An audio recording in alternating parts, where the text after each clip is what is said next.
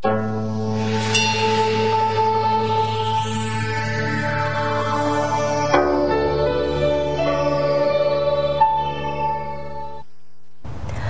众朋友们，大家好，欢迎收看天元围棋频道。今天我们很高兴请到了刘晶老师为大家讲解第四届钻石杯全国围棋龙星战本赛第二轮的一场焦点对决，是由陈耀烨对阵连笑。刘老师您好。你好，观众朋友们，大家好，很高兴为大家讲解这盘棋。嗯，这盘棋是应该是第二轮哈。是。呃，然后我们的对阵的双方是陈耀烨对连笑，这两个人都是可以说是咱们中国围棋界的都是希望之星。呃，陈耀烨已经不算希望之星，他的等级分在最新最新的公布的那个等级分里面，他是排名是中国的第一名。嗯，没错。呃，然后连笑呃就是我们的问家数据达人了，连笑排名第几位？大概是？大概是二十名左右，二十三位。对。然后今年呢，连校是。比这个陈耀烨稍微年轻一点，他是九四年啊，那那年轻很多。年陈耀烨是八九年的，对。连校呢是在今年连续获得了这个全国个人赛和中信银行杯的亚军。其实，在现在竞争非常激烈的一个中国体坛，能连续获得亚军也是很不容易了。啊，就说明他的呃个人赛的亚军，对，就是慢棋也很厉害，他的中信银行杯的亚军，快棋也很厉害，对。那我们陈耀烨呢，他是呃好像是连续打入了两个世界大赛的一个决赛，一个是咱们中国今年刚刚举办的百灵杯、百灵爱豆杯世界围棋公开赛的决赛，他的决赛对手是周瑞阳，对。然后还有一个是也是咱们中国的国内的比呃举办的是春兰春兰杯。他的对阵的是李世石，韩国强大的一位棋手。对，嗯，那我们话不多说，先给大家摆摆这盘棋。嗯，好，这盘棋是由陈耀烨执黑棋。嗯，那个，不过我觉得我们在讲解这盘棋之前，还是先请数据达人给大家简略的介绍一下我们的比赛的一些背景情况。嗯。本届龙星战呢，哎，大家现在看到的就是龙星战的画面了。现场画面，那个穿蓝色衣服的那个就是我们的年轻的小将连笑。嗯，他的背对着我们的是陈耀烨。本届比赛呢是分为这个王选赛、本选赛和本赛三个阶段。那么到这儿呢是已经进行到了本赛的第二轮，两位棋手都因为等级分排名靠前，直接进入到本赛的争夺。是的，是的。嗯。这个应该是比赛的现场。对，应该是两位棋手还在思考。好，这个用时，用时是一个人用了还剩下五次，一个人剩下六次。龙星站是一个快棋赛制，每方三十秒，然后保留每方三十秒一步，保留十四呃一分钟读秒，连续就是用完一次三十秒后，他下一下一手可以用一分钟，有有十次这样的机会。嗯。陈耀烨今年也是非常的状态非常好。对对对，而且我觉得他的棋啊，他的在最近啊，好像，呃，比比起以前，他就是以前他他是很有名的，就很酷爱实地。嗯。但是现在的棋呢，就慢慢的转向了更均衡。是。所以他能取得好成绩呢，也可能跟他棋风有转变是有很大的关联。嗯。啊，陈耀烨。聚精会神。很认真。是。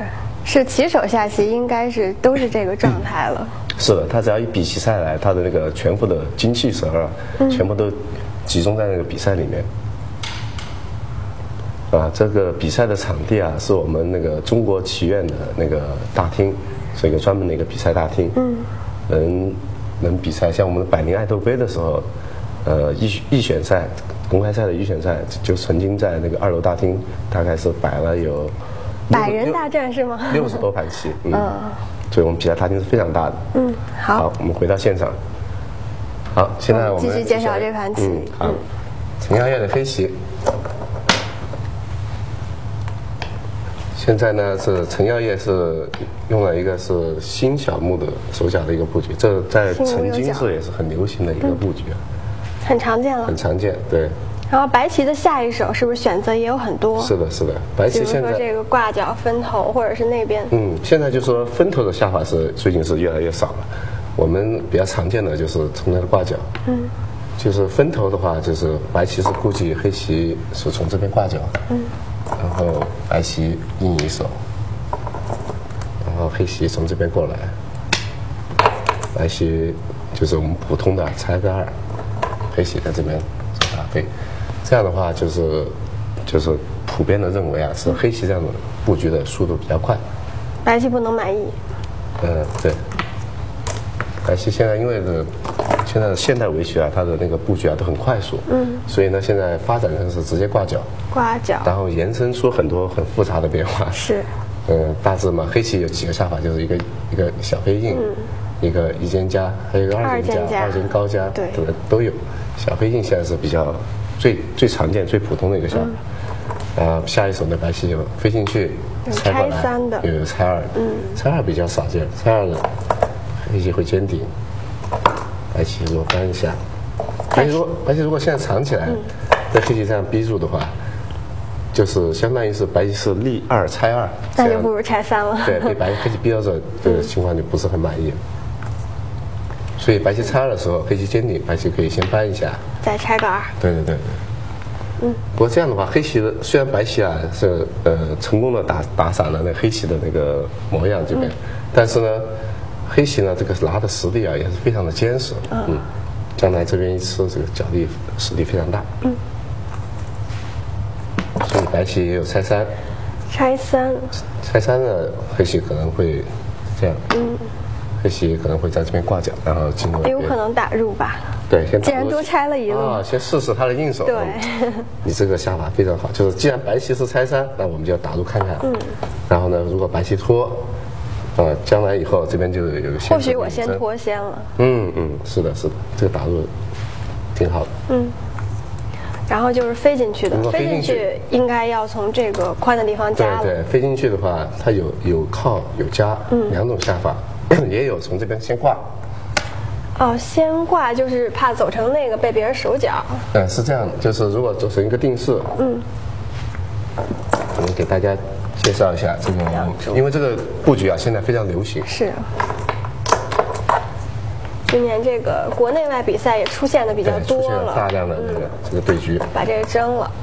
嗯，现在呢，他先挂一下，就是担心这个时候，比如被别人守个角。没错，没错，没错。然后现在下一手嘛，黑棋如果在这边拆的话，嗯，将来可能会白棋有正好正好上面遭到引争。对对对，所以普通的话是提掉，或者就是这边补一手，补一手，把白棋再拆过来，拆一边，嗯，这样的话就上下都被白棋走到，嗯。黑棋虽然很厚啊，这黑棋确实也可以下，嗯，不过那个从心情上，我觉得还是稍稍的不是太满意，嗯，所以一般他会黑棋会先挂一个，对，如果我们看到如果先挂到一手，嗯，再争掉的话，白棋这边就没有好的那个大飞的选点了，就算这边是引争，嗯，黑棋赢一个，然后呢，黑棋还可以继以后再继续扩张这边的模样，对，它就有产生了很多的头绪，嗯。然后呢，基于这个这样的下法呢，白棋呢还有跳不一样的下法，对，白棋会生变，因为说白棋小飞，嗯，这样的话下面就没有什么很很好的手段，嗯，然后这个跳也是针对黑棋要这么下的时候，这个是不是有这个呀？没错没错，哎呦，好像后续手段，看起来你平时都是很用功啊。这个尖冲就是因为这个跳的后续手段，嗯，它就是来，嗯，就是来接应黑棋冲出来的时候。白棋就退，再冲的时候它正好挡住。嗯，我们来简单看一下。对。嗯。我再冲啊，对，在断的时候就进行作战了。嗯。白棋这个子正好接应上了，这边这就接应不上。这个力量就差很多。对对对，是的。然后呢，就是。大多数觉得这一尖冲呢，黑棋在局部上就是不是很好下。嗯，他又不肯在下面爬。对，爬的话就太委屈了，所以全在二路。如果就应该正常不能冲断作战，这黑棋在上面就没有很好的那个着点了。嗯。所以呢，基于这样的原因，现在呢，甚至演变成黑棋在大飞管。哦，这都是逐步的改进。对对，逐步改良。嗯。嗯。就是虽然你看看起来很普普通通的下法，但是其中呢，就是含了很多的内涵。现在有大飞挂，如果黑白棋现在硬呢？如果现在你无论是单关跳还是小飞，对，黑棋如果再走你刚刚的形状，白棋这边就没有这样的手段。嗯嗯，所以呢，白棋也是针锋相对，现在也是个妥协，契合。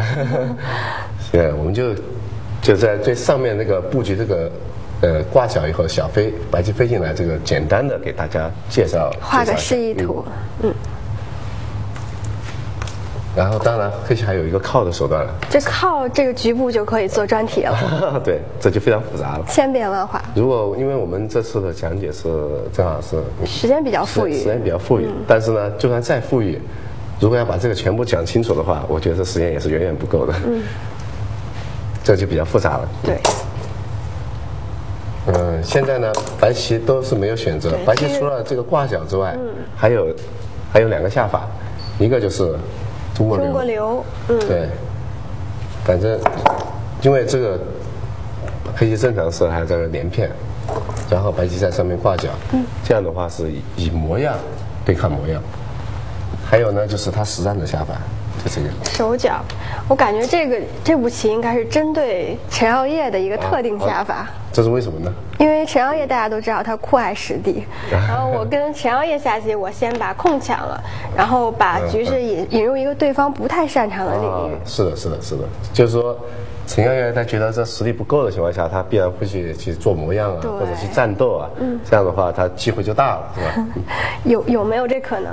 呃，有这可能。或许呃对，这因为这咱们这这盘棋是快棋嘛，嗯，所以他那个在下之前，他肯定针对对手啊，他有一定的那个有个有个准备。对他觉得我比如说跟陈耀烨呢，我是不是应该先把实地拿拿足，拿足以后再进行自孤或者战斗？如果跟古力呢？呃，就要避免也被他的重锤给击中，应该会有一些赛前的一些一些准备。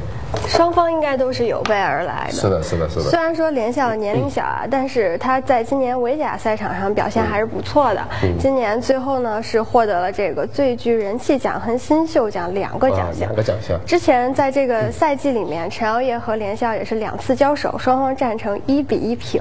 啊，那就是说年下还是非常具有实力的。是的，所以说双方应该也比较了解。好，我们继续往继续往下看。现在呢，既然白棋没有在这边选择挂角，那作为黑棋来说就连片了就。连片了，这连片本身是很大的，相当于是本身这个无忧角这边拆边就是一个扩张，就是很大。是这个拆边呢，连包括这个心也一块拆了，嗯，就一直起到两两用。连片价值在布局当中应该是，呃，最应该是优先要考虑的。嗯，好，这个时候要挂角了，但是要挂角，嗯，跳，跳。然后白棋飞，嗯。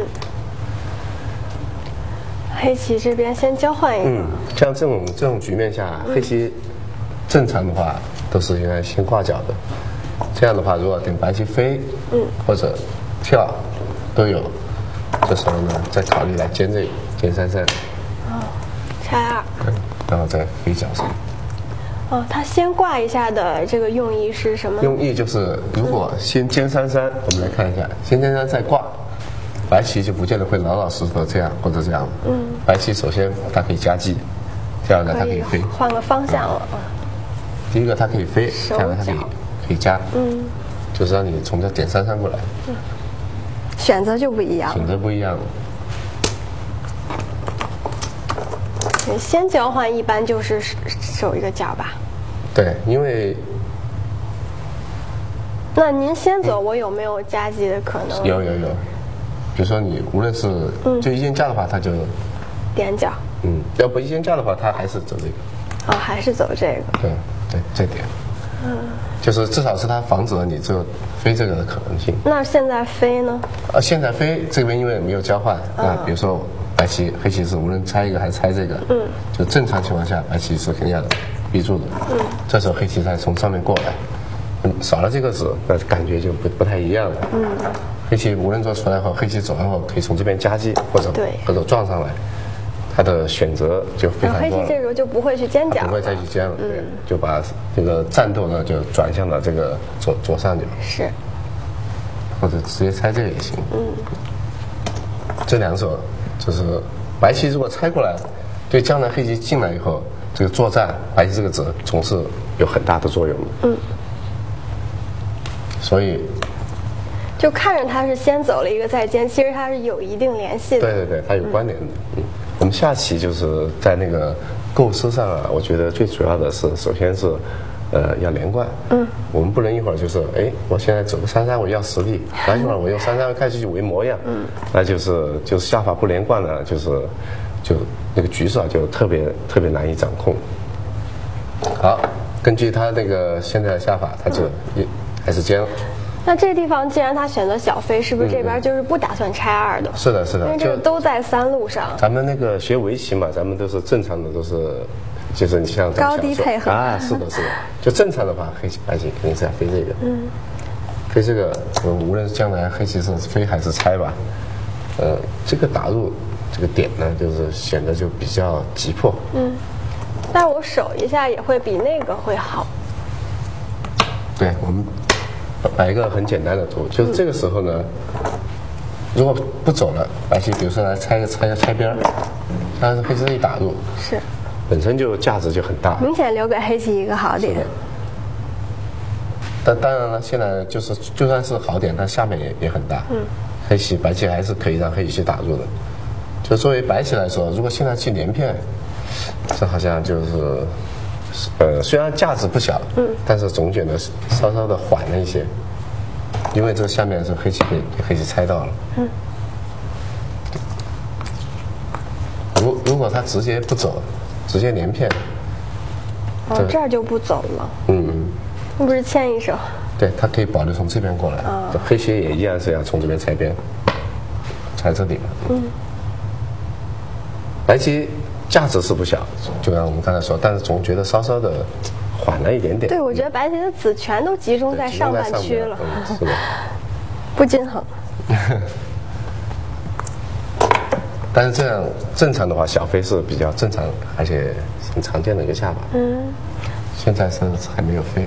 没飞，然后他这个下的很奔放，我感觉。嗯。这步跳，嗯。我觉得吧，我个人觉得这步跳跟他前面的就是，就像你介绍的一样，他是想先把实体拿住，嗯，他是有有冲突的，是，嗯，又不太理解了。刚才你在抢时控，现在又是不是有点做模样的意思？他就是可能就担心这飞完以后，他又不太肯自己去补一手，但是不补呢，他肯定看，如果你猜，肯定必然要被黑棋打入，他可能在纠结在这个地方，嗯。然后呢，他当然这么猜肯定。那想猜的话，刚才就跳好了，这样不就高低配合没错没错，所以说他可能选应该选择跳，然后再这么猜。嗯。就是我觉得比这个小飞再跳要好一些，但是呢，我自己因为之前以前比赛嘛，我也知道下快棋就是在读秒声的那个催促声中啊，就是你突然的话就会改变主意。啊。不是想的那样的，对对对，就是本来你是想好了应该怎么怎么样，比如说，哎，我想好了要飞或者怎么样，慢慢下。嗯。但是呢，在一想到，哎，我觉得这样也可以啊，然后再一吹七八九一读，马上就下下去了。改变主意了。对改变主意了。嗯。但是这步跳，我觉得应该是从年轻人的那个角度来说，他也是，呃，我觉得他因为有创新的意识比较强嘛，而且他不受那种。就是条条框框的那个束缚，就因为像我们的学定式的时候，哎，都这么飞啊，这么拆啊，对吧？然后他这个没有受到任何的那个束缚，我觉得从这一点上来说，我还是觉得值得值得肯定，值得鼓励，是吧？那这个棋在职业棋手对局中出现的多吗？嗯，多，多是一般都是要做模样的时候，啊，比如说这边做白棋这个模样，然后呢？啊不，我就说是这个配置下，啊，这个配置下，我反正是第一次见到。所以说他应该是在这个局面下，应该是，应该是一个创新的想法，有点自己的想法，但是效果怎么样？不一定，还得实战检验。是的。嗯。看你就飞，还是小尖。嗯。这黑棋还走的挺扎实的。对，黑棋现在是按照他自己的那个步调，就是从他第一手开始，你看每每步棋都是，呃，堂堂正正，就是，这个也是跟陈耀烨。一一贯的作风吧，嗯，啊，白棋呢就显得好像就是有点飘了。现在这步棋一跳，对，整个局势就有点飘。现在呢，如果他再去往回守一守，又不肯了吧？这就不一样了。首先，他这个地方就配合从那个职业配合上来说，看起来还可以，但事实上他留下了各种各样的毛病。嗯，就是这其实并不是并不是很好的配置，还不如这个。这个还显得更扎实一些。哦，这两手还不如这么没错放在这儿。对，因为这个很明显，这将来还有靠。虽然没有靠，白棋黑棋简单，这上面掉一下，你不硬的话，这边就跳下去了。你要硬上，上面就被靠住了。就是它的形状其实并不是太好。但是我见以前走拆二的，好像跳起来也是一手棋。对，那得看情况。但是跳起来虽然是一手棋，但现在并不是并不着急。嗯。如果现在你还要再守回去，那那就那还不如当初直接守回去。就这步现在我就不着急了，马上走这儿了我还有很多地方大闪都可以需要去占据。所以在跳完后，他又尖，这个时候没有办法。嗯。为了贯彻这步的意图，绝对不能再往回去守了。所以继续跳，这个地方如果不走的话，呃，不走的话就明？显是不是留一个打入？啊，就是你觉得如果黑棋脱先，对。白棋要打入，对，围靠呢，靠我搬出来。对，那您这个被我争了，啊，粘上，哦，我看懂了。现在就是，如果现在黑棋要打吃，我就立立下来来，嗯下面这步真吃和这步断吃，现在不是白棋棋，争子有力吗？没错没错，还是挺严厉的，非常严厉。就是说，如果黑棋这边胆敢脱先，被白棋这一打入，黑棋立马可以说就没有硬手了。是不是硬只能下这个？只能只能飞出来。但是黑棋白棋下面本身这一点啊，怎么爬都是活棋，嗯，而且现在就简单尖出来，哦，就直接煎出来作战。对，也不是黑棋也没没有办法，这边还留了断点呢。嗯，这只要被打入进去后，黑棋这块就可能会有有那个生死的问题。嗯，所以这步棋非常严厉。那补一个还是有必要的有。必要，就是白棋这个子是先手。嗯，现在呢就可以大致的看出，白棋在当初跳这个子的时候呢，他其实已经想到了，我下面这步跳还是先手。嗯，嗯，不过接下来这一步呢，又让我们可以说是大吃一惊啊，不，至少让我大吃一惊吧。让我们啊，你也大吃一惊。嗯，那如果是你的话，你觉得现在这个局面下应该想怎么选择？是我的话，我觉得我们布局不是至少说是要往宽的地方下吗？是的嗯因为我也没看到这个局面有什么明显的急所急的地方，可能拆下面呀，或眼见的者就是这个，或者贯彻这个意图，我点了压过来，是不是也可以考虑？没错，没错。呃，我我要是我跟你的想法是完全一样的，因为白棋既然跳了，又跳一手，嗯，它显然是就是像刚才我们所说的，它是不能去往回补的，对吧？往回补，就将来就算黑棋跳，白棋这个形状都是非常非常一般的，就是它现在这跳把黑棋的实体给卖，就是等于送把实体给送掉，送结实了。反正至少以后这边不走，还有靠啊、打入等等的下法。把这个送结实以后呢，这作用就要起到什么作用呢？自己要去要扩张才可以。嗯。所以呢，我觉得我跟你是一样的想法。点如果是我的话，我也会这么下再考虑的。继续经营呗，反正已经跳了这么多了。对。然后现在如果黑棋藏这个，现在白棋下一手就得考虑，这是接这个呢，还是往上面怎么天空去？哦，就这么围。我也我也不太清楚往哪位。或者直接接一个，等他等着他来。但是这个似乎看起来又有点宽，不好把握吧？嗯是的。但是从那个，我觉得从棋理上来说啊，嗯，他现在肯定还是应该去经营它上面，就是说，如果这样下，就白棋思维会连贯一点。连贯一些，对。就像刚才我们看介绍里嘛，就下棋首先要连贯。可是呢，实实际上呢，它的实战呢下在哪里？我们先给大家看一下，还是爬到这个。这个有真是有点看不懂。这一步不管怎么说吧，虽然它是，呃，它也算是跟这部是相连贯的，就是先跳完，呃黑棋不是要去围控吧，我再爬，下一手会什么呢？有一个点，点，嗯，黑棋黑棋接再一扳啊，这你控不就没有围住吗？它是也是有这个意图啊，但是呢，毕竟是在还在布局阶段，就是走到二路上。是的，无论怎么说，这步棋价值从价值上来说，还是不是那么着急吧？嗯，可能啊，他又觉得如果在这这么去经营模样的话，他自己也不容易控制。比如说，我们就像刚才那样，嗯，退退。啊，可能这时候你会选择什么？如果是你啊，我应该不会在这儿演。啊，你要去围控是吧？对，因为这个长了这么大一个太平洋，我有点 心里有点虚 对你想去围在哪里？这边，这边。扔一个吧，搞不清选点了。对，就是如果从那个白棋的角度上来说，无论他围在哪里，他总觉得上面看不清楚。啊，如果都能都都是全部都是实力的话，那当然是非常可观的。但是，一旦黑棋进去，白棋又杀不了，那白棋整个的下法就全部都失败了。嗯，所有的全部都在都在损损控，它不不容易掌控。所以，像这种去自己去围呢，也许还不如就先这么走一个。先补补号。等他来，因为这步棋什么意思呢？将来这边冲挡上就断断这个，结束，嗯，他这步棋相当于是先手，对吧？他可以急了先打，这步棋基本上是先手。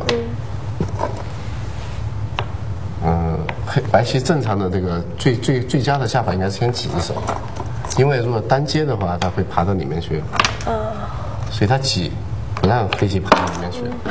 黑棋黑棋只能打，黑棋接住没有用，它就可以加，对吧？只能打那，只能打，然后他再打，你只能这，只能提了，对，他就爬不到脚上去了。嗯。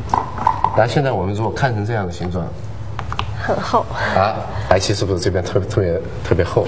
黑棋要真的想进去呢，它也不，是不是也有层，也会很担心呢？嗯。白棋一正，这个能不能从里面活出来也是很说不清楚。嗯。它要掉的浅一点呢，把白棋就围一下，这个子呢，将来还是会被白棋攻击。但是这个局面又形成了陈耀烨擅长的局面了。陈耀烨他就是先捞后洗的那个，他就怕一会儿又就怕让别人去治孤，对是吧？就不就怕你不为大控，嗯。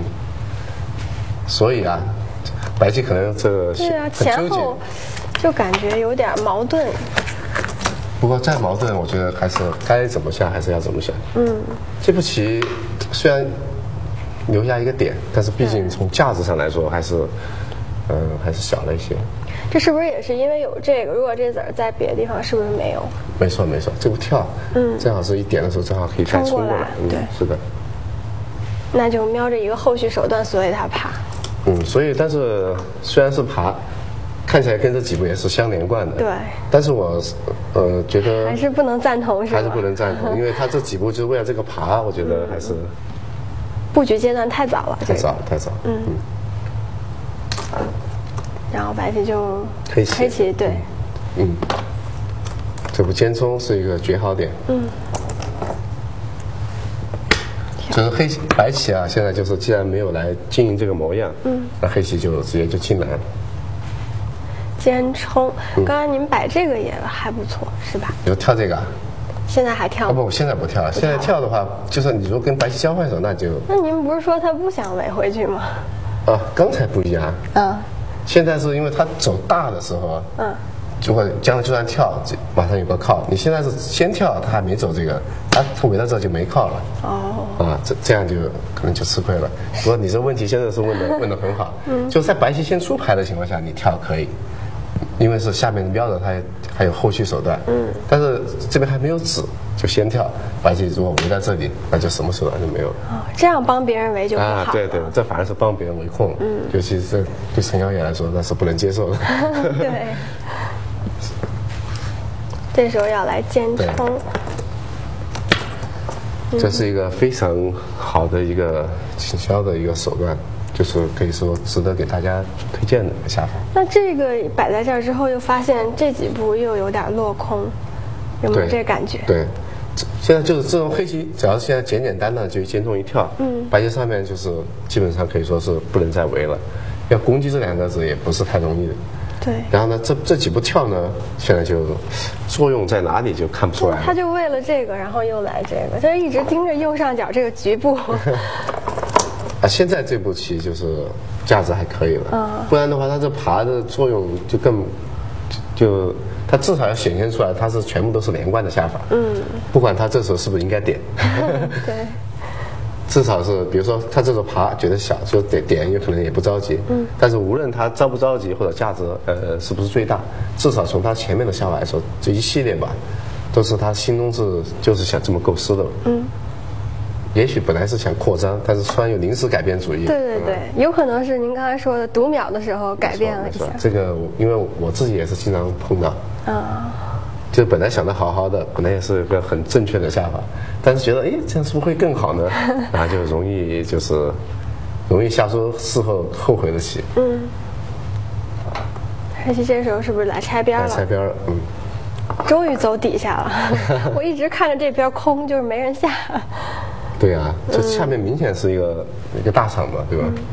拆二。嗯，这两手交换，黑棋肯定是已经是便宜了。嗯。然后这个时候他是黑棋来处理这个了，我还以为当时他拆的时候会不会继续再怎么扩张或者围一下？对，围下也挺大的。嗯，就是你如果想围是，我这么围行吗？嗯，要你要觉得有点大，我就这么围。还好，这跳还好。嗯嗯，因为我们如果是什么时候跳呢？就是说，呃，白棋要进来很难了，嗯，对吧？你就可以跳。现在。像这个局部，如果说白棋往进来，确实是太风险太大了。无论他走哪里，你只要把他头摁住，嗯，他在里面就是就太苦了。那你这个以后也别想攻了。对，这个跳还隐隐约约它有点援兵作用，是吧？呃，如果呢，就是你跳完白棋时候简简单单一进来，你根本就没有办法。这时候呢，就可以往回缩，缩到位。哦。嗯。那我现在跳吧。挺好的，挺好的。嗯。如果说跳完对这边人还有影响的话，那就更好了。嗯。他现在是脱先了，脱先了。嗯，如果要围，嗯，他是觉得上面这块儿应该比较急吗？还先处理一下？因为他觉得这个虽然很大，但上面也也不小。嗯，就被白棋，比如说简单靠出来，这毕竟也是也是一块孤棋。对先处理这一块，点了一下，点一下，然后虎下去。这本身这个价值就是有的，而且第一个还欺负到白棋呢，就要封要爬，哦，看看白棋的应手，还瞄着白棋这个，这边还有飞，嗯，对吧？就底下就可以生根了，嗯，本身就是陈耀烨的棋啊，每步棋啊，你几乎都在目上的，是，对，它都是有价值的，嗯，点，点，这棋黑白棋的如意算盘是粘上啊，对，粘上以后，然后呢？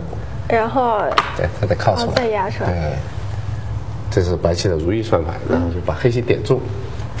哦，这个总不会粘上，他应该也想到对手不会粘。嗯，是。这属于梦想图。梦想图，梦想图，确实。嗯。然后黑棋。对。往上贴，这三上子已经确实太老实，被白棋明显便宜了。嗯。贴。贴。再长。嗯。这些都都是可以说是呃没有办法。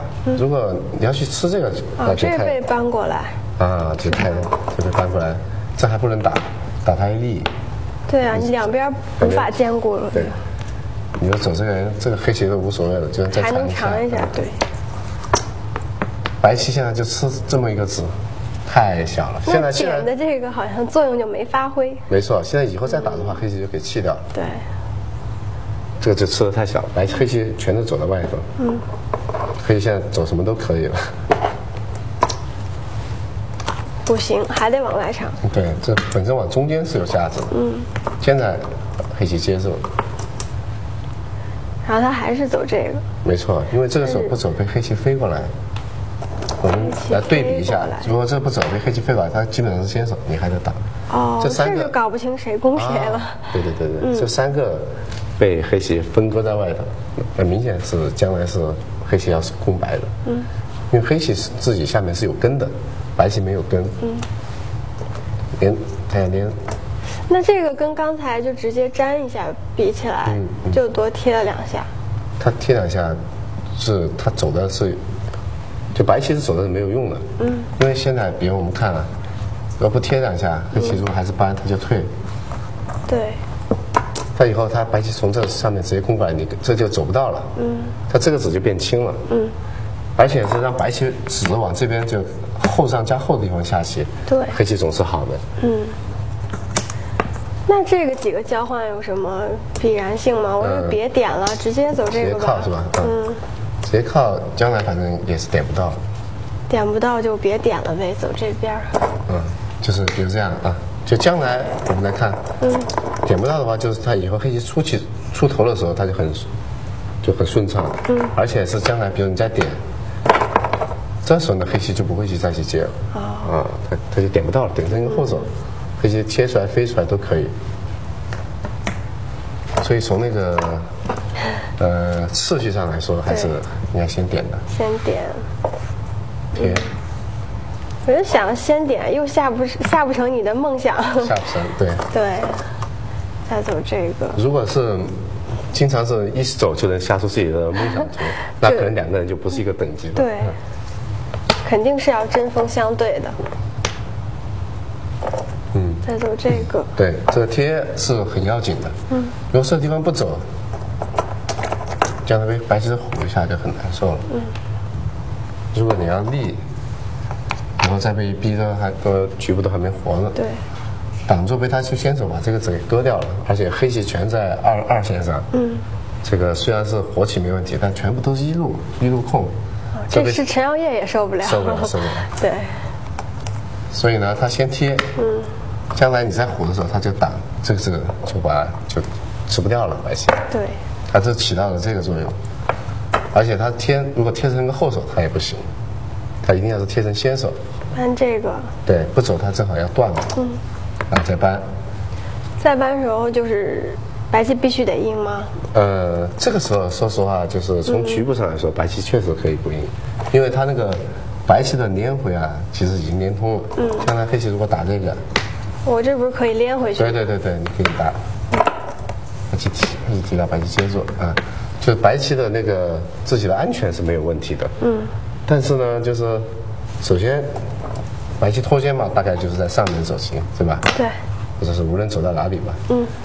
黑棋先手打完以后，再再进行处理，这个很很容易。这边还有点，啊，就黑棋在处理这块其实非常容易，它本身一飞就飞出来了。这个被被抓掉以后呢，这个价值有有多大？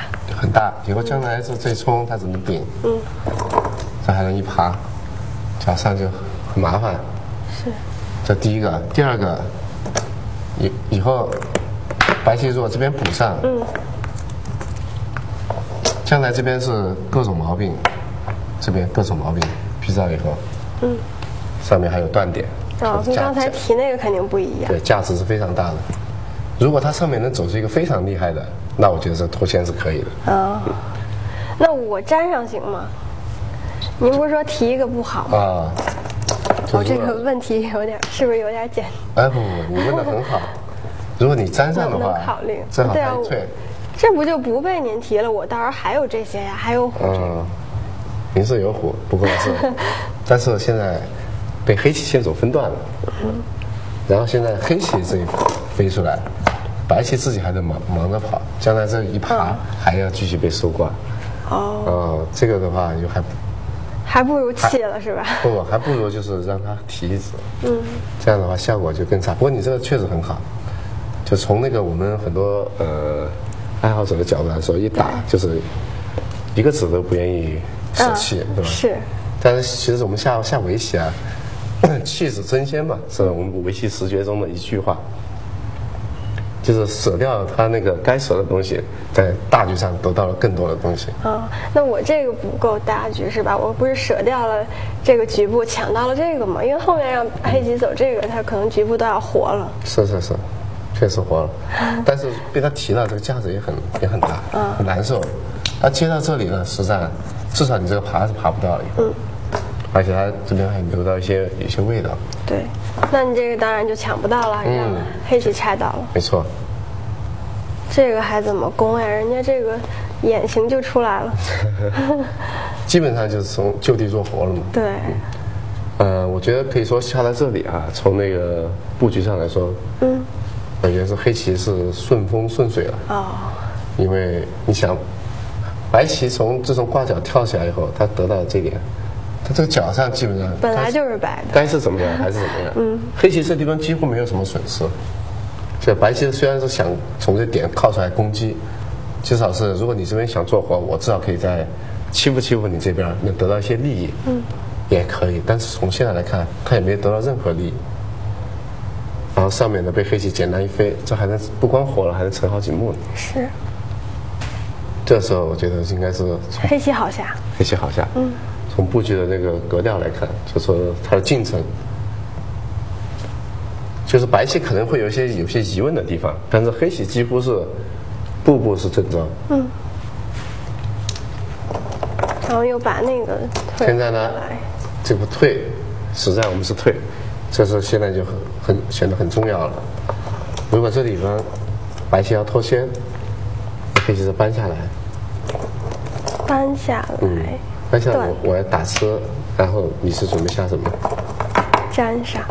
对，如果你要打这个的话，白棋就不怕。白棋至少下面是活棋。啊。黑棋也就走个后手，这是一步关子。嗯。但是呢，黑棋可以粘这个。粘上。这个就很厉害了。他这个现在呢，黑棋可以搬或者打了再搬，就看黑棋想怎么选择。嗯。就是搬。搬其实也可以提，一样的，那就黑棋先打掉吧，打立掉。这个还要立一下，提一个跟提两个不一样。啊，不一样。现在有什么不一样的？就是将来这你你是能打到的。啊。首先这打到以后，嗯，如果我们就让黑棋接回来啊，嗯，将来这边这这飞下来，至少这尖有先手，然后还有这。突完后，这接也是先手哦。以后收过对，它这个接这有这个一路接能是先手的话，就是黑棋在这下面有子的情况。嗯，这个能是先手的话，可能作用就很大了。如果不立，就直接打让他提掉，白棋就活得很铁了。对，因为从目数上来说，黑棋多立一下是毫无损失。啊，嗯，这就是细的地方。这就细的地方。可能我们下期就想不到还要先再送一个。对，多送一个是只有好处没有坏处的。这如果走成这样，如果走成这样，那个白棋这几个子，那就可能要逃到天边去了，没地儿。是当初这个气势汹汹的，还要逃孤棋，对，不能接受。就跳着跳，现在变成了孤棋。嗯，是的，因为黑棋 本身来说，黑棋没损多少目数。现在你看，你看见了就六目棋。嗯，这价值非常厉害。对，所以它是尝一下。所以白棋现在先把这个，把黑棋搬下来的可能性给去掉。关键从这盘棋来看，他这个还是先手，黑棋要补一个。啊，对，实际上他现在是沈耀燕呢，也是很老实，跟着应了一手。嗯。不过呢，我觉得啊，白棋这边都下了很多子了，其实白黑棋硬了，黑棋的担心是什么？担心就是。他硬了，主要是首先有一些目数，然后可能以后会这边作战，他担心这块是不是没有眼位啊？是吗？对，但是他可能最担心的，他是先点这个，就如果这边黑棋不走，就点一下，黑棋如果要硬，嗯，白棋再爬一下，黑棋现在就是稍稍有点，我想顶，想顶，嗯，顶的话，它至少将来白棋还能点到一下。这只能接住了吧？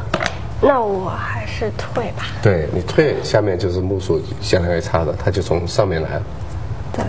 就是如果走成这样，被白棋先手一点一爬，下面先手起码也有十目棋，最少。嗯。就对于陈瑶瑶来说，看先手十目，那就就相当于是力收十目了，价值是非常大的。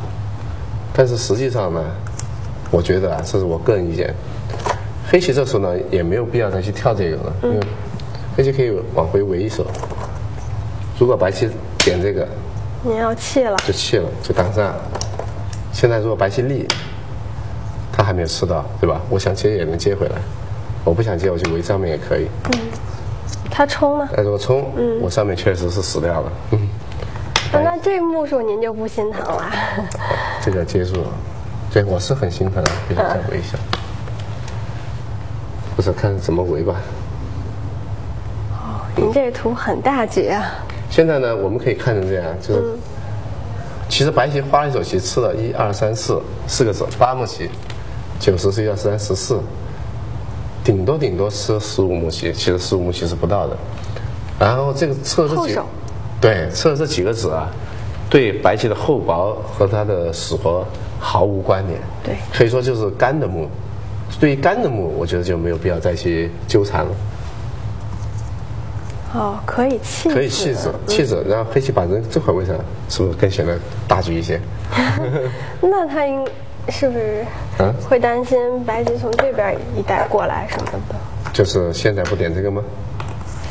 点一下它总是便宜的吧？点一下再不走是吧？嗯不知道您刚才摆那图，我觉得他没有什么担心的，没有什么担心的，所以不知道在担心什么。没有什么担心。现在白棋也不可能进来的，其实叫进来叫黑棋再赢，白棋也亏，哦也来得及 也亏。嗯，所以我觉得现在黑白黑棋啊，如果能走到这里，就把这个子弃掉，再去围这个，这个我觉得还是更好下一点。对对对，应该值得考虑的。嗯，咱们的那个呃 思路是因为这地方不重要了。黑棋白棋吃完后，黑棋以后这尖还是先手，该是先手的还是先手，白棋走了一堆，就是局部价值已经没有那么大没。有那么大，因为它对白棋的死活来说根本毫无关联嘛，就是纯的一个是干的一个目数，是，这个猜都是十来目，嗯，是吧？是有道理，现在呢，实战呢，陈耀也就硬了，因为他比较稳，他是比较稳健，他觉得局势不，而且他觉得这是眼见的就是目数嘛，对，还是地方，但是呢，这地方打入还是还是很厉害。嗯。就白棋白棋这不退，至少是他获得了先手利益。嗯，那这地方补棋的话就是跳的是吧？嗯不是拐的，他从那个目数上来说，他是跳便宜。如果拐那留一个点呀。点点，他就找个加，没事。啊，来看一下，我冲啊，您是加在这儿，冲就加，冲就加的。没事儿，对，这个这个不行，这个被他打了打。对，这样这样比也比他单拐的目数好。嗯，单拐下面差了好几目，以后那一对吧？般一般了再搬，这目数反而反而缩小如。果要是单拐的，估计他就脱线了，对。对对对，没错没错，哎，你这个总结的非常好，说的对。如果说他这个局部只能拐着补，陈岩他就他就不愿意了，嗯，他觉得一看，哎，能跳到这里，对也很大，反正我步步都在木上，对，而且估计他之前呢就是下的比较顺嘛。啊比较顺，他心情也很舒服，他就按照他的步调，反正我就是该下什么下什么，对，这个就当成是白棋的先手，当然白棋就进来了。这必须的。现在对于白棋来说，前面虽然是好像我们稍稍有点疑问，但是其实呢，它形势并不像，可能是黑棋很顺，但是呢，就算黑棋有优势没，差那么多。对，有优势，它其实也是很微小的。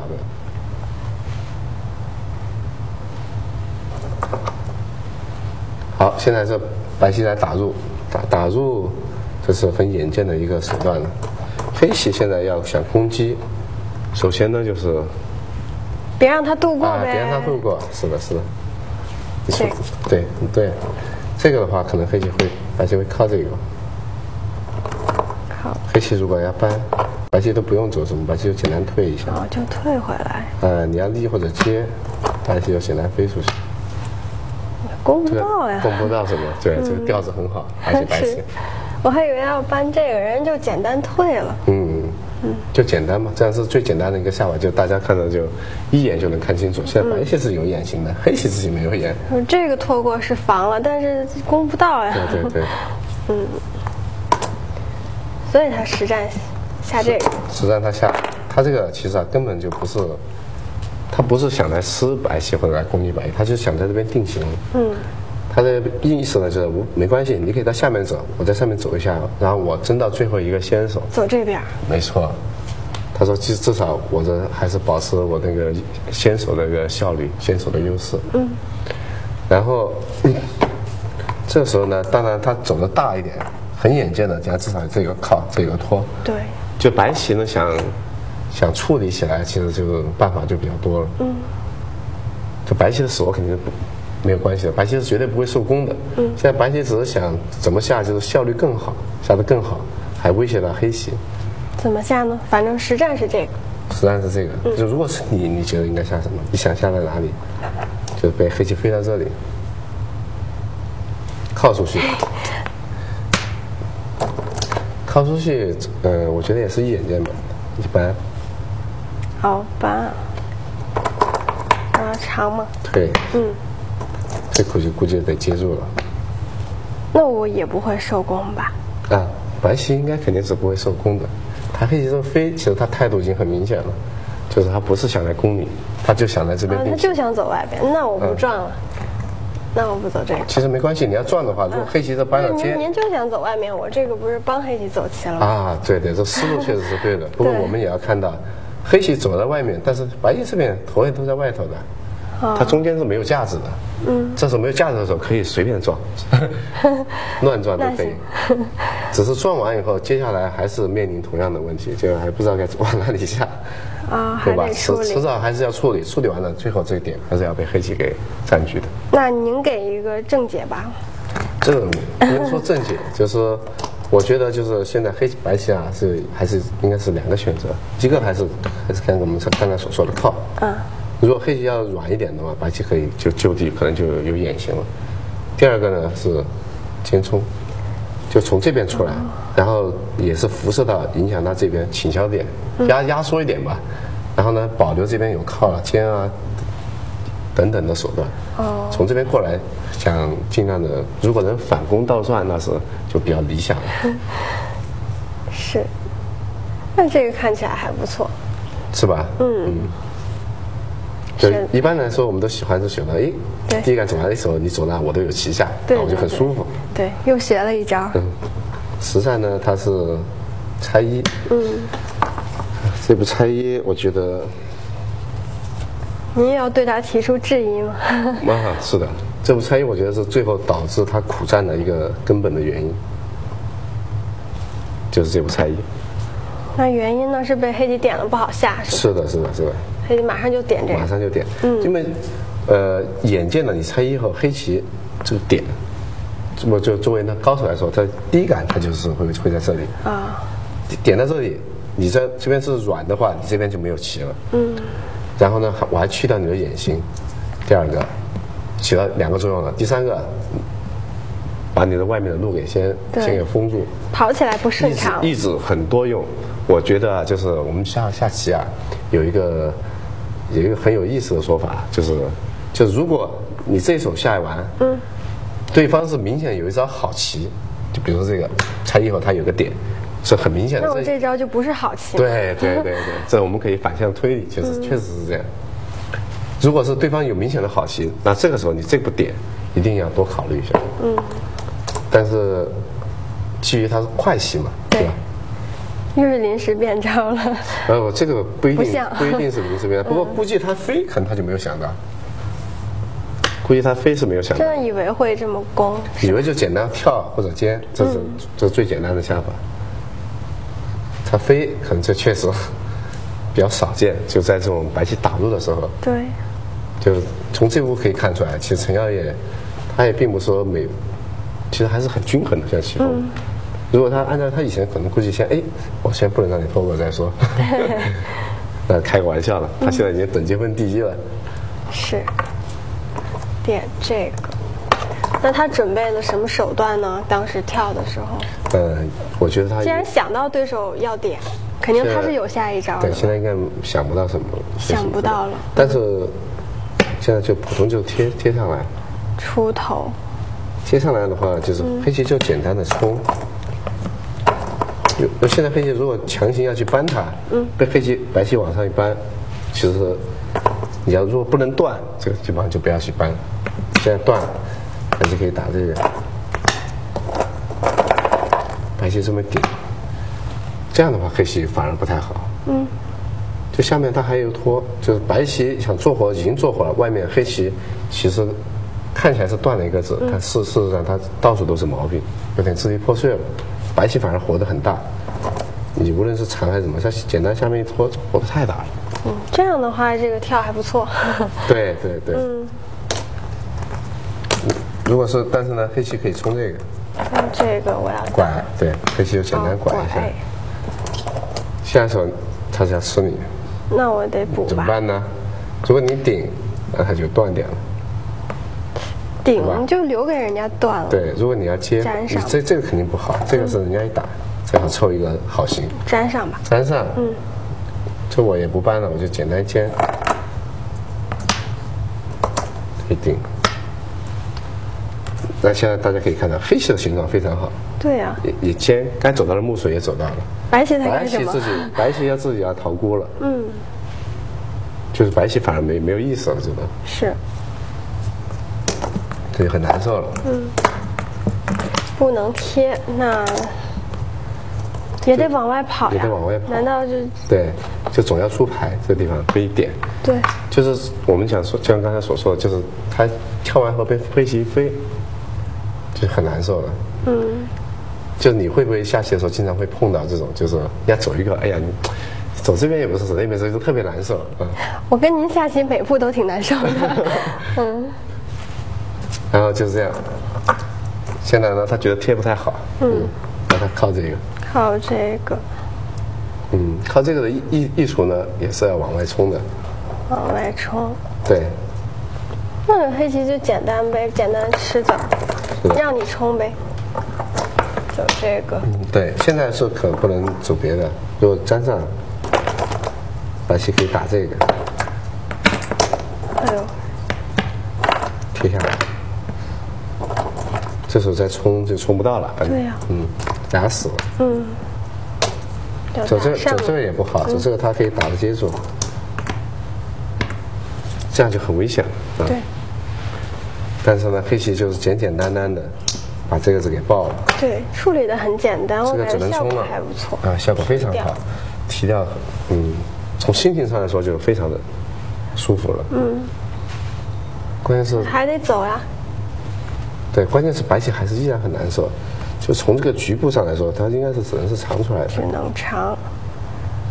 长出来就像我们刚才所说，现在它不用冲了，它直接单压过来。就是你如果顶它，还是要冲断嘛。嗯，白棋还是一样难受。就是白棋其实虽然是看起来出头，但实际上呢，还是没有起到它想要的效果，就是说明它这个跳一有问题。有问题，对，是一问手。嗯，所以呢，他他想都很难受。他因为搬不好，搬他出白白棋跑出来，下面要断了，这边要冲，走这个就太委屈了。然后呢，他长呢，刚才被压，他也难受还不，舒服。所以他索性就直接就飞这个。飞这个就遭到人家冲断了。对，我觉得这个地方白棋啊，整个的调子啊，就显得就非常乱了，还被分断了，这个这很乱的，我觉得是吧？这样只能打了，再再去这个子被黑棋吃掉就不像样了。我们不是断哪边打哪边吗？没错没错，这儿也是吧？这也是。那肯定不能考虑粘回去，把这个分断了。这个是只能穿。对，现在呢，就是大家就是现在一看，首先两块棋被分断了。嗯。第二，黑棋这边还有先手，因为下面还要挡它。白棋事实上是还没有还没有回家的。拐先手你也得练。啊，拐是绝对的先手。嗯，如果拐成这样，现在呢就上面该黑棋下，其实因为以后将来这个打基本上是先手，所以提对吧？嗯。如果是看成这样，下面该黑棋下，其实白棋这个还是挺恐的。有点危险。嗯，他没有眼呀。没有眼。嗯。但是作为白棋来说，他其实也就没有办法了，他就被逼上绝路了。说要不你就来你来杀我吧，他开始在这耍孤棋了。杀过棋了。嗯。跳。这不跳是非常非常好。嗯，是因为这个先手吗？因为他这边有有好些先手，我们刚才只是摆了一个最简单的，对其实他其实当然是作为高手来说，直接就把先手给卖掉，其实是最不好的。有很多种保留保留，对，他有先手有很多种的时候，他一定要保留。嗯，然后他现在贴呢也不太好，贴这样回他抽他一般，你虎也没用啊，虎他可以硬，还是贴不下来，它这上面有个尖嗯是的。如果你再双，他就他再回去，那就没有意思了。这样他的头在外面了，嗯，所以他先把这个要点给占据了。现在我假如你要跑，那他正好就是要要挡下来。啊，对，他要杀招了。嗯，现在他可以挤这个，挤这个这样可以，能跑吗？还哎，它可以，啊不不过不现在这现在可能还不太成立，嗯，因为它这边是软头啊，我们看一下，这段是先手，嗯，这个段也是先手，哟，这个杀气是怎么回事？扳，哦，可以搬在对上。，局部上来说是黑棋死了，嗯，但是他因为留下一个这个挡，所以呢，哦，就是暂时还不成对，暂时可能以后会有手段。嗯这现在黑棋有很简单的想法，黑棋就把这个接住都可以。那这必须得挡啊，嗯，这边已经好像这边先没有，这边其实简单一打四都没法再跑了，嗯，简单打四再一挖丝，有很危险的，就是或者就直接挖或者造，对我不能让你接啊。是的，这是形状的一个要点。对，然后他就冲这个，我在跑。黑棋再一拐，嗯，白棋这时候只能走了吧？哦，这时候再不走，再挡下来就是的，黑棋再一团，嗯，那我觉得跟刚才的比呢，好在什么地方呢？你看，如果我们单拐，他要爬回来，嗯，如果这时候要攻击要跳，白棋是绝不会再去冲这个的，对，冲这个的可以说是白棋自紧了一大口气，壮气。壮气，这壮气对这边这跑出去，那就可就累了。嗯，然后但是呢，实战呢，现在是白棋呢，他也没有办法，他也只能硬着头皮先冲了，再爬回来。嗯，这不能死，这死的话，白棋可以说什么都没守着。嗯，一定要爬回来。黑棋现在团，现在白棋这地方看起来非常的危险了。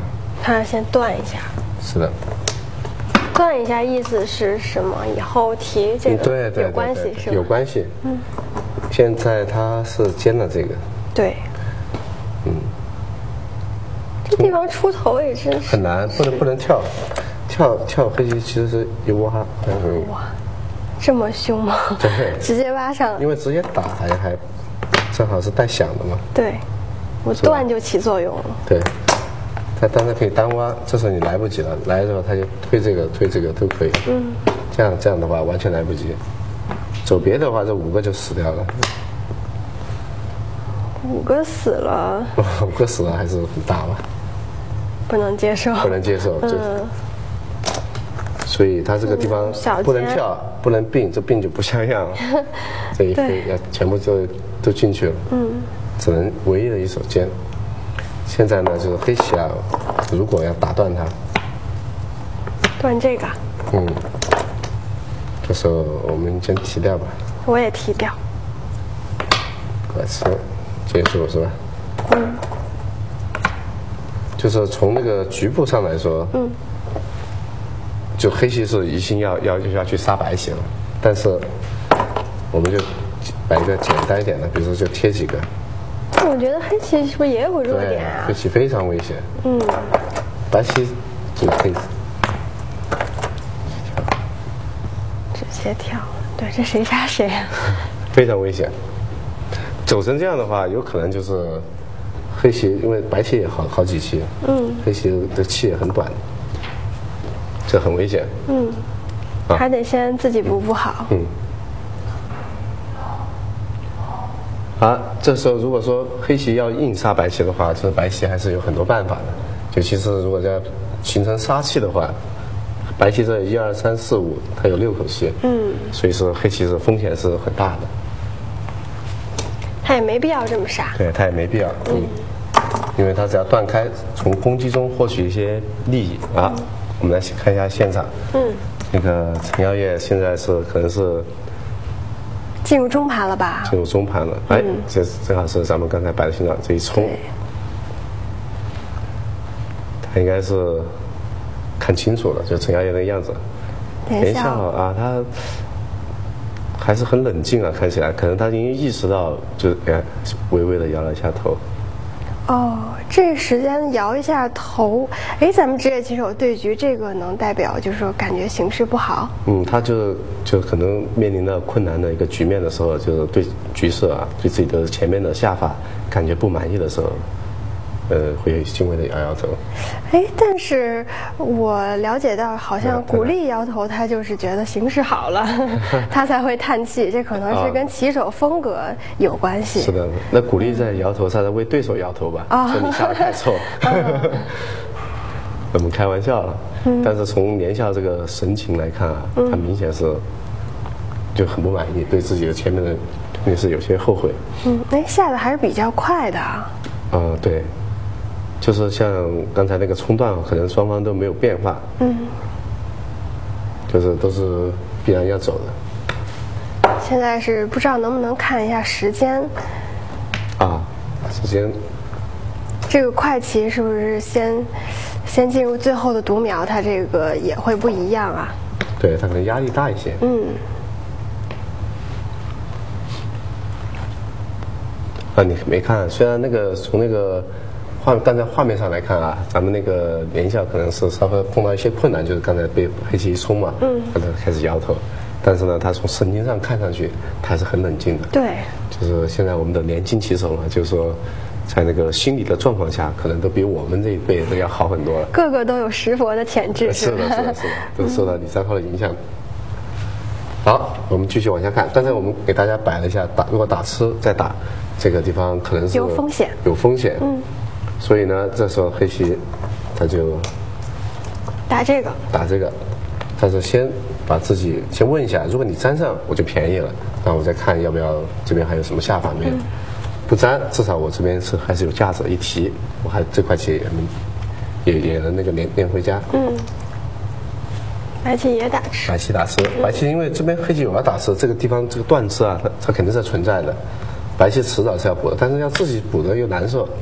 那不知道补在哪对，手心又打在这里。嗯，这个提是先手嘛，它这个白黑棋是软头，是黑棋飞的这个围控围控，就是说你如果要接的话，黑棋肯定就从上面来。啊，现在黑棋呢也不一定是说一定要杀你，你看它下面已经得到实地了。对，而且好像白棋这个地方总是总是有点怪怪，黑棋就算简单的顶，就这么简单的顶着搬过去，我觉得这个都还不错。嗯，将来可以从这边还没有完全的回家呢，白棋。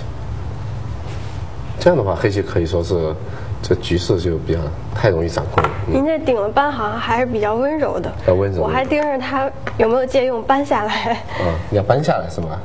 当然肯定是这啊边，有手段的时候，对从，脚上先做点文章，嗯。啊，我觉得这，我就觉得你们那个女棋手啊，都特别爱杀。啊，女棋手可能大局上会差一点。没有，我刚才看你所说的那个大局都挺好的，而且，不过但是现在就咱们的就所有的世界上的所有，不光包括中国啊、韩国啊、日本啊，所有的女棋手，尤其是以瑞老师、瑞来瑞老师为代表的，都一个都特别好杀，力量都很大。这个问题是为什么呢？个个都是力战型，每一个介绍的时候都是力量型的只要是女棋手，她都是力战型，是吧？这个问题其实也挺奇怪的。女棋手是拼计算的吗？嗯，我觉得啊，咱们虽然是在讲这盘棋，但是提到女棋手，我觉得真有可能跟那个男女的那个那个脑结构可能是不是会有点区别？啊，还有关系。因为那您这个是不是还歧视女棋手？是女棋手在世界比赛下不过没男棋手没没没没，我完全不是歧视女棋手，嗯就是他因为那个男女的脑结构不同嘛，那肯定造成，比如说，呃，好像是女的这脑结构，好像我是可能是在报纸上还是在网络上看到，就是它结构就是相对比男的复杂一些。就是相对，他就可能在局部的战斗，他就喜欢纠缠一点。哦男的比较相对就是那老结构简单啊，他可能说，哎，这地方我这样就可以了，我在别的地方可以多做补偿。嗯，就是像咱们所说的，就是在大局上，男棋手可能要要要好一些，要明明细一点。嗯。也许吧，有关系。猜测。嗯，好，现在呢，白棋跳过来，这没有粘。过来，嗯，对，因为它粘，觉得这地方还是有，还是要被利用，干脆就是把这个结撑住，那人家就提掉了。提掉了。嗯，因为从现在的形势那个来看，嗯，白棋确实需要再再努力努力。嗯，白棋找结吗？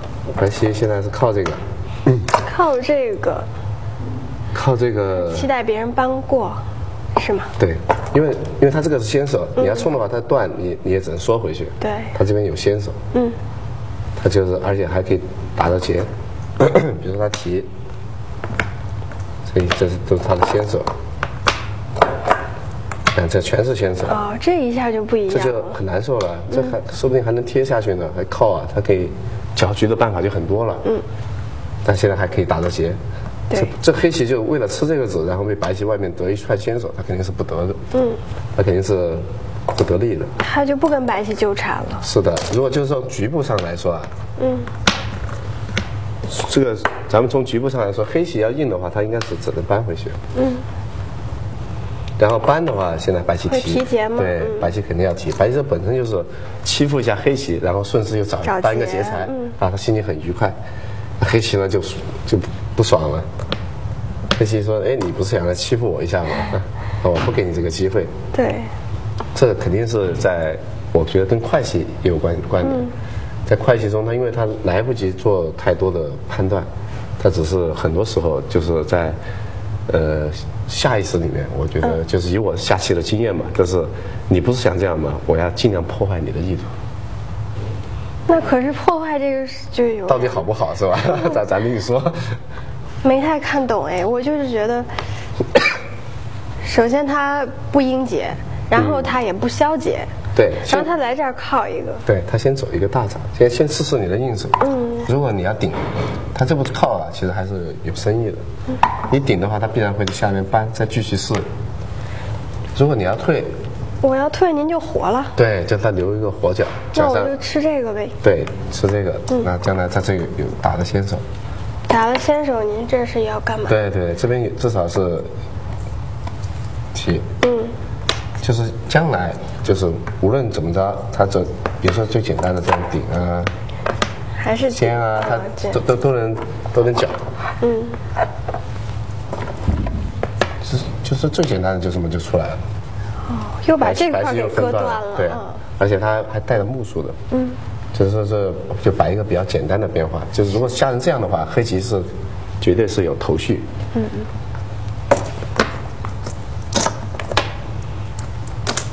所以白棋推这个，对对对啊，推这个，对，将来就是黑留一个这边有子的时候，对对。会留一个大结果留一个大结果，嗯，所以呢，他为了现在让这个靠就是起到作用，黑棋呢这边也不正，这边也不对啊，又在这拆杆，在拆边啊，这拆二本身就是就是有价值的一手棋。第二呢，下一手呢，它可以这扳这一接，白棋只能渡，只能主主动，黑棋一虎，加上就会成一个打劫活。对，然后呢，它这个子呢就发挥它作用。但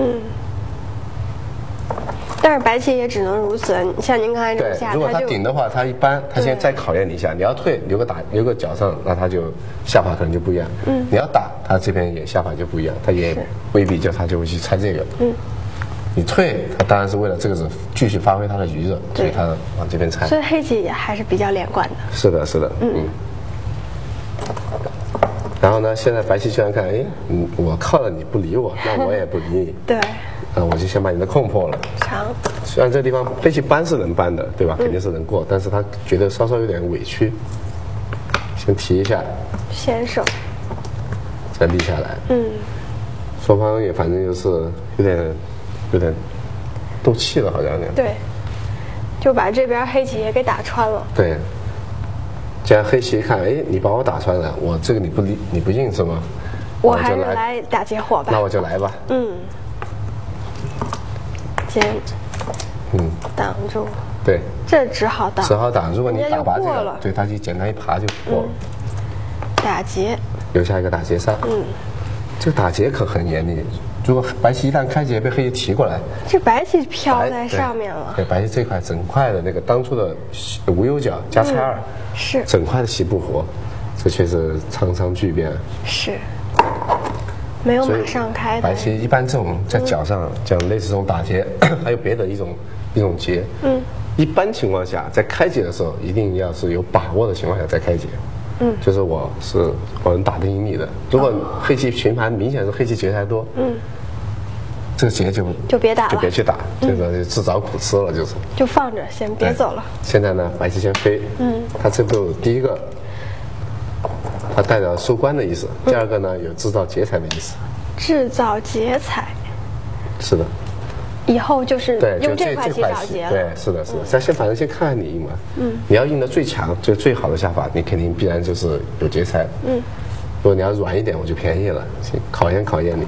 然后来打劫。然后开始打劫了，因为现在白棋不打劫的话，它其实啊，它只能压下来，应该是提这个。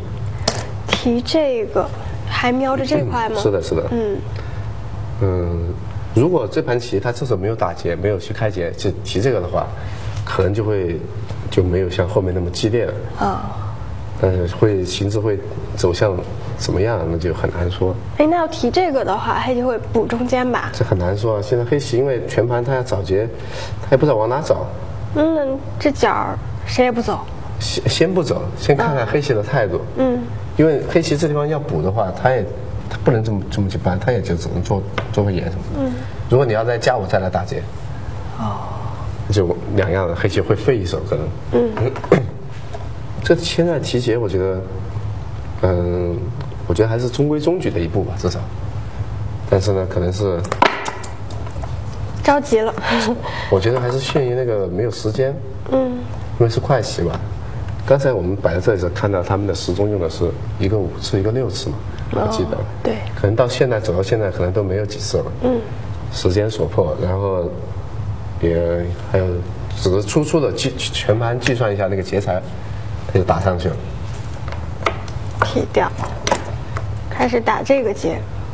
提掉，黑棋现在是提这个。白棋现在有把握吗？您不是说得有把握才能开吗？是啊，他是有把握，但是因为因为是快棋嘛，嗯，他可能也没有计算清楚。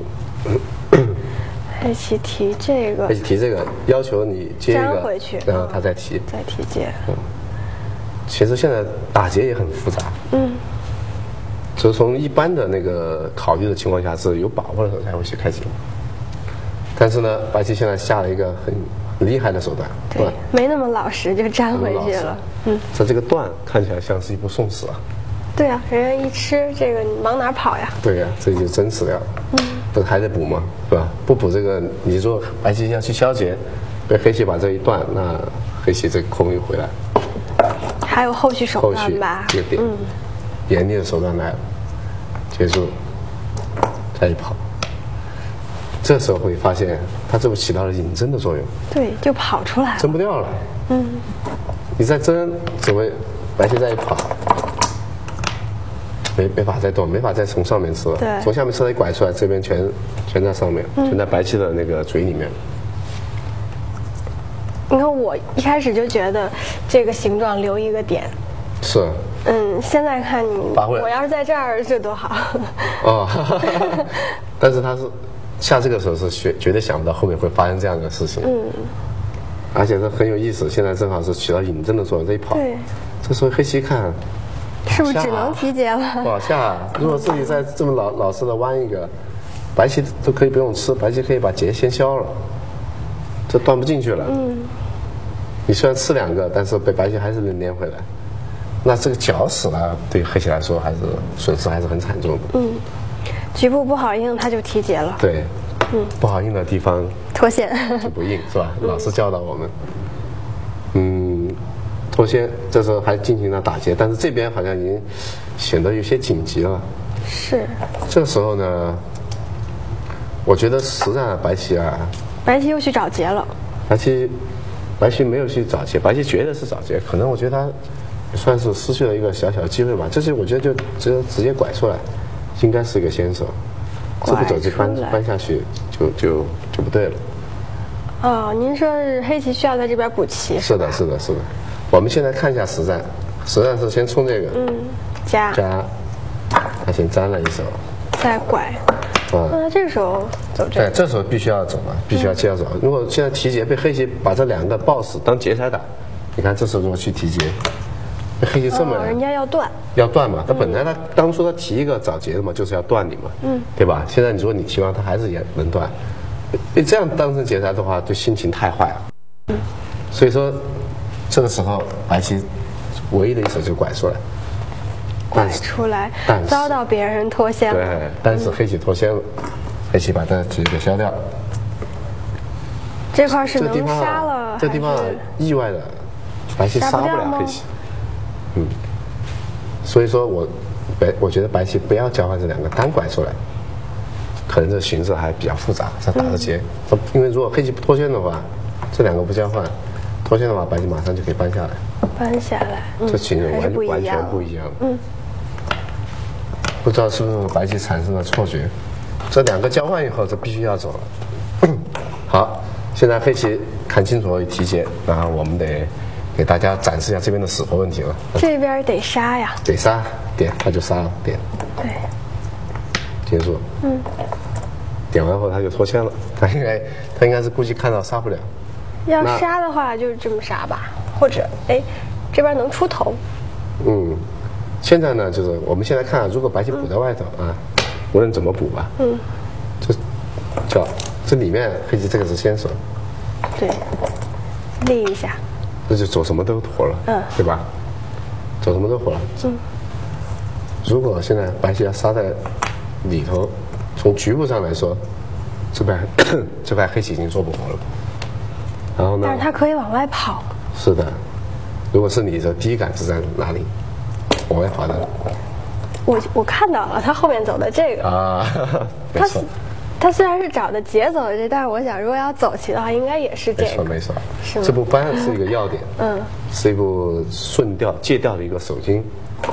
如果你要吃就很简单了，对吧？嗯，这里打一虎就出头了，就打一打一飞什么都可以，嗯，怎么都出头了。你要弯，冲出来，顺着抓就冲出来了，哇，这个冲出来也很厉害，很厉害。嗯，他当时不厉害，抓自己就跑了。对，白棋的就所有的就，现在唯一的收获就是吃到了这几个子。嗯，但是这个角被黑棋削在这里，太关键这块儿是怎么回事？你得交代啊，对，现在白棋这几个还搞不清楚。嗯。然后现在白棋打这个，白棋看杀不了了，这地方现在杀不了，我们就点了一个又不下了，啊，他点一个他可能有便宜，有有可能有便宜，因为如果不走的话，黑棋可能将来一手补在这里，什么借用都没有。嗯。点一下也许有便宜，他应该不会不会亏。然后他保留上面各种各样的先手，因为他将来杀到下面，黑棋搬，外面白棋必然还是会有一些借用的。嗯。啊白棋打这个，黑棋，就老老实实接住了。这个时候呢，就如果白棋要去，这很难受。他因为正常的话，他应该去补一个的，对，因为他黑黑棋吃到这里，这块又飘起来了，对吧？嗯。然后呢，如果他并在这里，将来被打吃，他还是很难受。打吃，就是现在如果一提变成先手了，嗯，这一扳又没眼型了，对，他就太难受了。补棋也补不好，补不好，他接在这里呢，将来一个点，还是难受，还是难受。嗯，如果说并并在这里更不像话，这一打 对，他都补不好了，关键是。不会下了局部，补不好了，补不好了怎么办呢？干脆就提结了，提结，嗯，就是也也跟刚刚才我们所说的，补不好的地方不硬，嗯。那你不补黑棋就吃了，黑棋就吃上来了，嗯，打。提掉。提，然后现在就造成了一个挖断，哦，他在补这个，我还以为他在破眼。对，他在补这个挖断，因为这不走的话，黑棋这一挖，就白棋就被全部断掉了。这个也算是破眼吧，既这又补又破眼。嗯。黑棋提提，掉，嗯，现在这个问题就来了，如果这个劫白棋一旦打输，我们可以看看这全部全部的就，对，这边都被人家提成这对样了。对对对。啊，想当初的那个新呃，不是新，是就直接的无无忧忧角加加拆二，啊，走成这个样子，真是沧海桑田。是，现在白棋找劫，白棋是靠这个吧？对，找这个劫，这个黑棋搬一下黑，棋搬，嗯，黑棋觉得这个劫它是有劫的，因为它这边对，就是它后面对它弯。好，黑棋也找了一个劫提，这时候白棋他要拿这块找劫，嗯，现现在从那个全局来说，白棋真的是在别的地方啊对啊，看不到，看不到一个合适的劫材，嗯，就比较，比如说像刚才他一一步棋就能扳下去，对，现在他因为现在再断就不得了，断不一样，断黑棋翻上来，这有个冲，这块棋就没事儿了。这个损劫是职业棋手是不愿意下的。然后呢，眼见的就这块白棋是有劫的，但是这块就很纠结你说是在上面封呢，还是破眼呢？你要让它活又不甘心。对对对，我觉得那个刚才就像你说的那个纠结的心情，嗯，我觉得就是，就你是逐迈向职业的一个必经的一个有这样的心理，就是一个职业的一个必经的一个思路，确实是。如果说现在走在外边儿，黑棋肯定是要补活吧，嗯，黑棋补活后，白棋所有的借用全没了，对相当于黑棋在中间可以放开手脚，嗯，想怎么下怎么下。但是呢，如果走在外面呢，黑棋再冲出来，这是一旦这定型以后，白棋同样就失去了很多那个借用的机会。嗯，所以对对白棋来说，他特别难受。不知道这劫应该怎么。就从从那个心情上来说，这地方白棋一定是要保留的。嗯，如果黑棋要愿意花一手棋，那那你自己花一手棋，白棋就算了。嗯，如果你不愿意花一手棋，将来在中间的作战中，黑棋都永远都是要受束缚的。嗯，所以他无论找哪个劫，对于这块棋来说，黑棋都是非常高兴的事情。所以他干脆不对准那块儿了。对，他就是在很纠结的心情上，就像你说，在职业时候这肯定很纠结了。如果一般的人，他就哎，反正我这有劫财，我先找了再说。但是其实他会丧失很多变化。嗯，他找这个找这个这个是不是明显就小了，小了，黑棋现在就消了，结了。嗯，很难受。我们现在可以理解，林校在这边确实很难受。消结了，这也得走棋啊。对，关键这个劫啊，咱们并不是咱们像所谓的那个生死劫，就是谁打赢谁就赢那种，还没有还没到那个地步。既然他虎了，他得继续下手。对，总得在这边走棋。嗯，然后这靠，靠这个他的靠的意图呢，我们先给大家介绍一下，因为他现在是虎啊，本来就是要吃这吃这点，嗯，它靠呢是准备打在这里，打在这儿。如果你要立，还是这里可以顶，如果你接住了，嗯，还是这一冲，就把你上面给杀掉了，它这正好就起到作用了，这个顶。就如果不靠这个单单打黑棋立再靠。再顶，啊，再顶，黑棋可以弯到这里，弯在上。啊这是，嗯，打退，接住他一接，全死进去了。黑棋借这个，这样的话就全死进去了。嗯，我们现在搞清楚他的靠的意图在什么地方。为了这边做准备。对，为了这个打做做准备。但是事实上呢，从那个这靠完呢，从从那个其实全局来看，嗯，其实是很不合时宜。为什么呢？现在打为什么呢对，现在打，我们来看，那你不是不能长了吗？对我不能长，但黑棋就不长了，把它爆掉了。那我就补棋啊。补棋，对，现在这块棋轮黑下，白棋是要有更多被动了太被动了，要有多危险，本身就很危险的。虽然是他觉得是这都是铲子，你来吃要吃，但是你不能全部都死掉。嗯，你至少是那个大的地方，就这几个子要救回来的。但是现在经过了这个一系列靠完被黑棋做爆掉以后，这个黑棋这个白棋就白棋有点危险，白棋非常非常危险常危险。嗯，但是他，所以我觉得这时候他应该还是断吃这个，应该直接断吃。那您不是说这不成立吗？黑棋立对，但是我就不顶了，我可以这时候再来靠。再靠。嗯如果你要顶吃这个，嗯，我就藏起来，所以将来还是要断吃你。哦我就说能把这个子给割下来，其实还那这边就不一样。对，也达到了目的。嗯。不过呢，就是说现就是我是因为抱着那个现在白棋形势不好，就想办法。不不长了嘛？对对对，白棋黑棋现在还是依然可以在现在攻击，嗯，攻击完这边有子在立，白棋还是 很难，嗯，所以说白棋这步靠可以说是置之死地而后生的那个他也没办法。嗯打打我再把这个吃了。把它吃的，成交也下的很稳健。好，现在他开始攻击了，对，这时候就是攻击的点在什么地方？我也想问这个我确问实题。，嗯，我觉得第一感，我觉得往上走，这好像中间任一个，这白棋都非常非常的难办。了啊嗯，往哪里扔，好像白棋都非常难办。嗯，他比您更近一路。他近一路，他说明显的看得见的，就是他的下面是要冲断的，留到一个断点。嗯，他觉得这样安全，攻击需要安全，就是就算你能跑一遍，我能至少你是把你的吃了，你也不行。现在形势是不是应该是黑棋黑棋？黑棋只要把这边都吃掉，应该都黑棋不错。嗯，白棋现在因为通过打劫，它其实得到了，其实也就是这里，这边。但是你想想当初的五六角家差点被黑棋欺负成这样，有点惨。有点惨。嗯。现在黑白棋就往往外跑。嗯，这个，反正这块是肯定不能弃的，不，这这几个是可以弃，因为本身就该着。反正总得跑出来点儿。对对对，这边不能弃，都这边死弃了不行这边死的话，这个虚空很多；这边死的话是大的地方。嗯，都弃了肯定不行，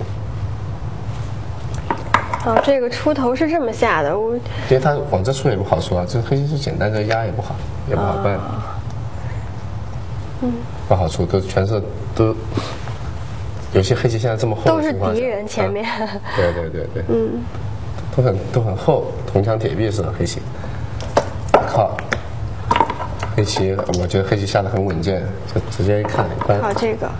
对，现在你不能再再往外搬，万一黑棋简单一搬就全死了，哦，您刚才说这个带着空的地方就又进去了。对对对对对，他只要全死了肯定是不行，所以他靠这个保留这个变化，黑棋呢也没给他这个机会对，藏起来，就长出来，先上班，对，嗯，提掉，对，跳，这，时候跳，对，然后黑棋搬二了，，对。又在这儿打劫，啊，黑棋现在其实白棋白棋是应该是要走的。嗯，我们可以看到，这不走的话，这一挤，对吧？这是掉的，你这两个是不能要的。就是黑棋的扮演相当于是就把这个给吃掉了。嗯，然后就黑棋的态度很明显，你要跑一点是没关系的，我只要把这吃了，我的全局的实力也是够的。嗯。然后呢，白棋说全部都要撑住。那他不撑就形势更不好，对对，没错没错。还是得走。然后又形成了一个新的打劫。对，这盘棋老在打劫，嗯嗯，是的。嗯。然后这个时候，我觉得是白棋可以说，既然打劫嘛，那就打呗。就是后面他也是在这里走了，我觉得还是先应该把断在这里找劫财。断这个，你刚才不说这地方纠结吗？纠结，但现在是被逼无奈了，因为这你如果要活的话，我就把我现在把这个劫打赢是比较关键的，哦，然后我就用用这块的劫财来打。嗯，然后就无论怎么样嘛，现在黑白棋是一个需要一个顽强的一个态度。是嗯。而且下下这个，啊，他这个是他这就更更狠了他要都要连回来啊，没错没错，他都要连回来。现在下一手得粘上下手这有断点，嗯，提掉这，一提，这白棋这个就是可以说是一毛不拔。对，一个都不舍得弃哈。对对对，黑棋的没办法，这样一个解，黑棋就挤，嗯，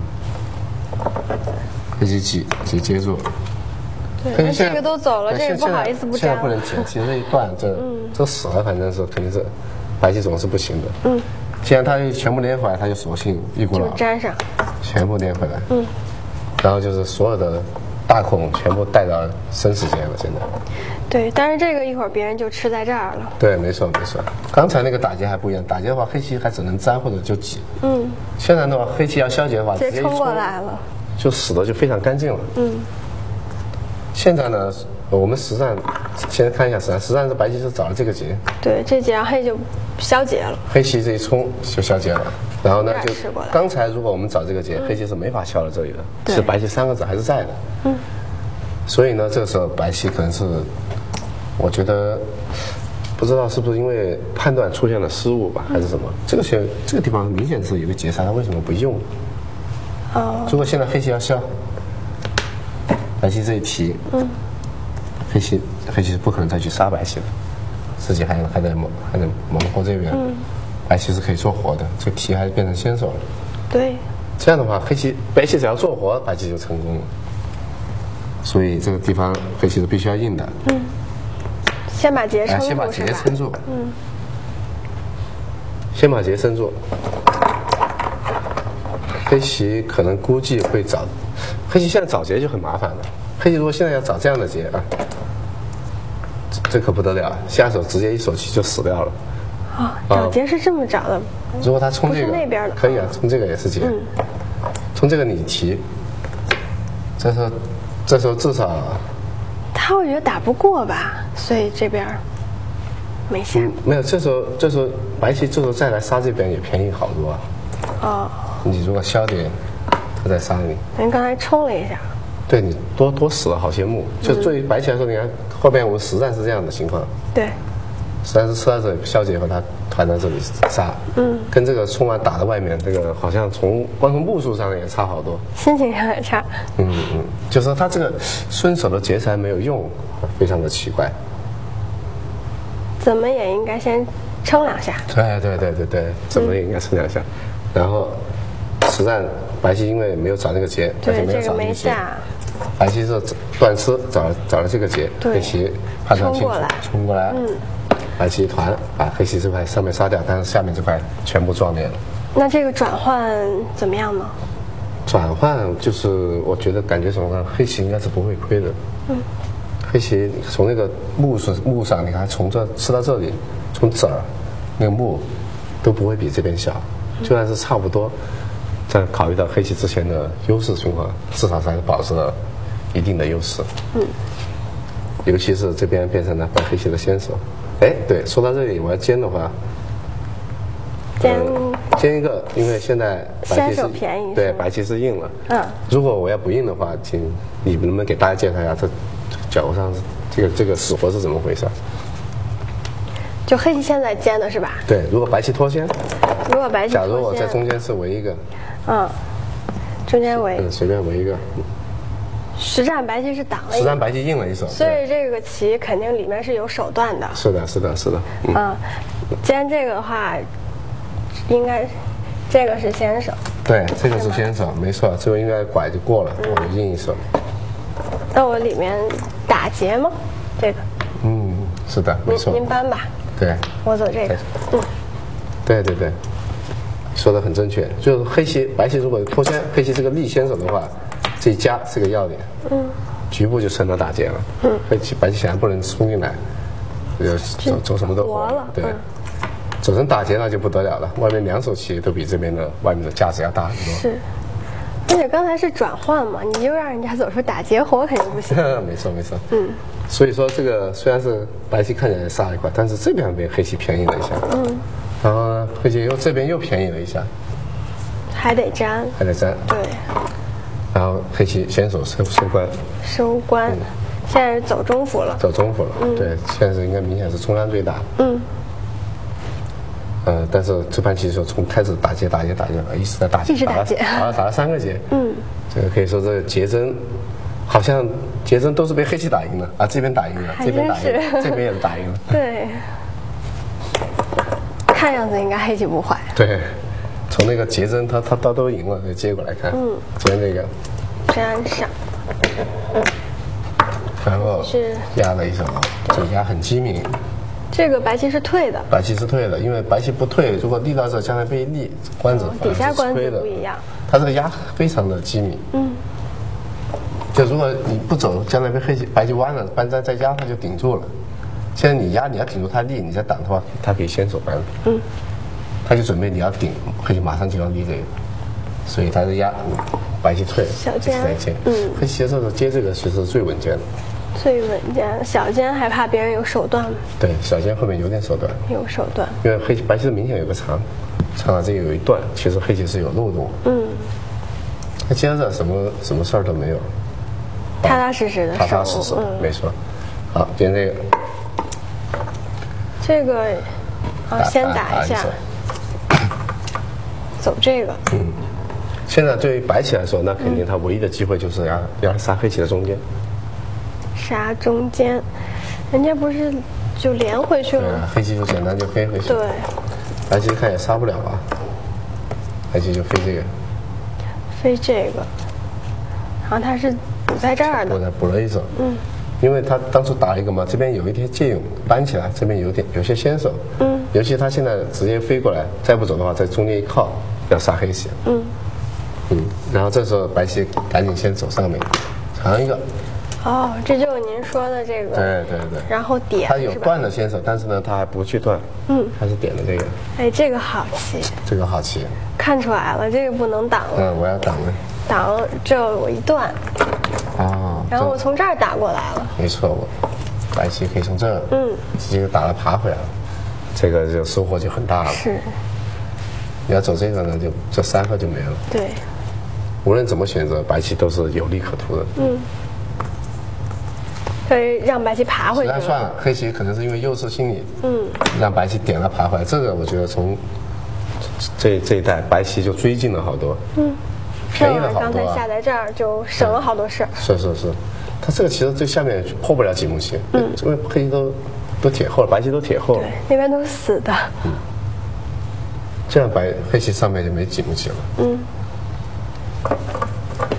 然后黑棋黑棋靠这个，对靠这现在，所所有的官子啊，就是非常简单的，嗯，人家都死了，该死的都死了，也就中央还没有定型。定定型就结束了，没什么好收的了。嗯，然后他煎了这个煎这个，看这冲断吧。冲断了。嗯，黑棋看你你怎么这还敢来煎？我就是我先走了，我先靠了，怎么白棋还要来煎呢？退，只能退。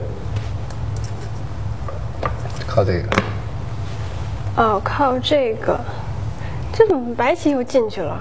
嗯，我们来看一下，如果白棋冲这个，走这个，是的，如果接住，那就不用说了，断了打死了，上面是活棋，嗯，那就是白棋损失大了，嗯，如果接这个断。断，嗯，这好像如果挤这个什么的都不用说了，哎，您这没气啊？对，弯这个就都可以，弯这个，呃，接住都可以，接住。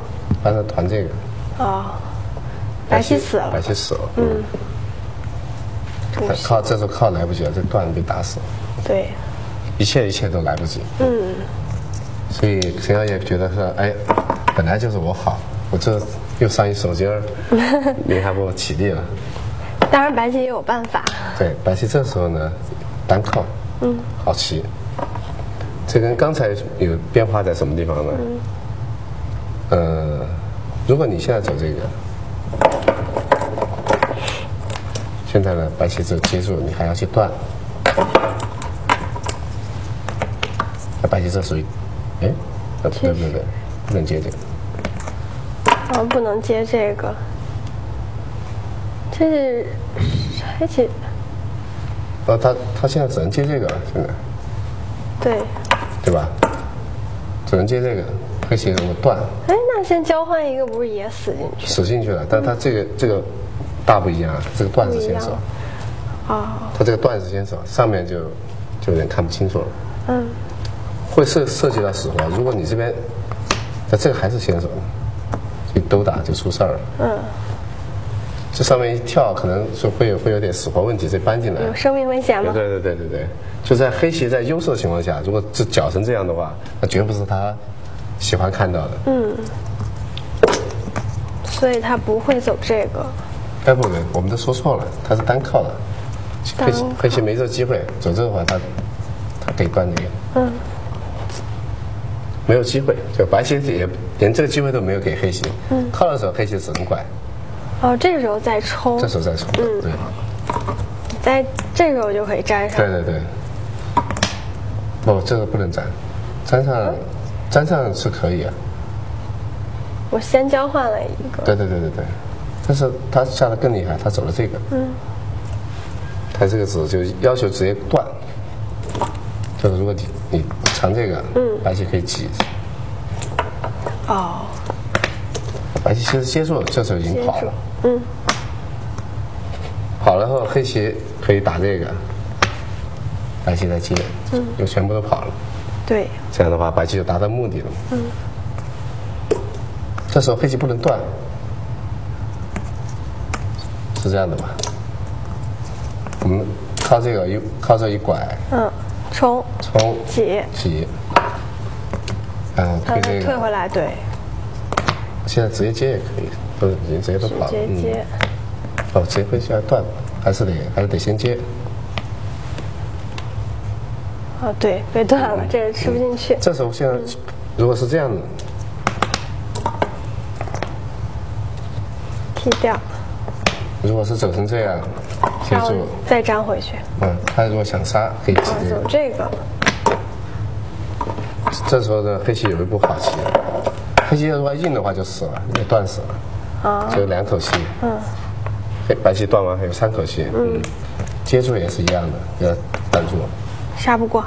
来不及啊，因为说两口气走完美一切都来不及。嗯，但是黑棋这时候有个断的好棋，哦，断。我吃你要吃这个，黑棋这先断吃。你提，提吧。对，提他现在就在在吃这个，就就回家了。连接住他一接就就连回家了。嗯。如果你要吃这个或者吃这个，我们看着吃这个，你看就是两步棋，你不是走不到吗？两个断点，但是黑棋可以冲这个，冲这个。这时候你要冲它吧，不然被它就拎拎回家了哦，。这活了。对，黑棋可以一现在冲这个。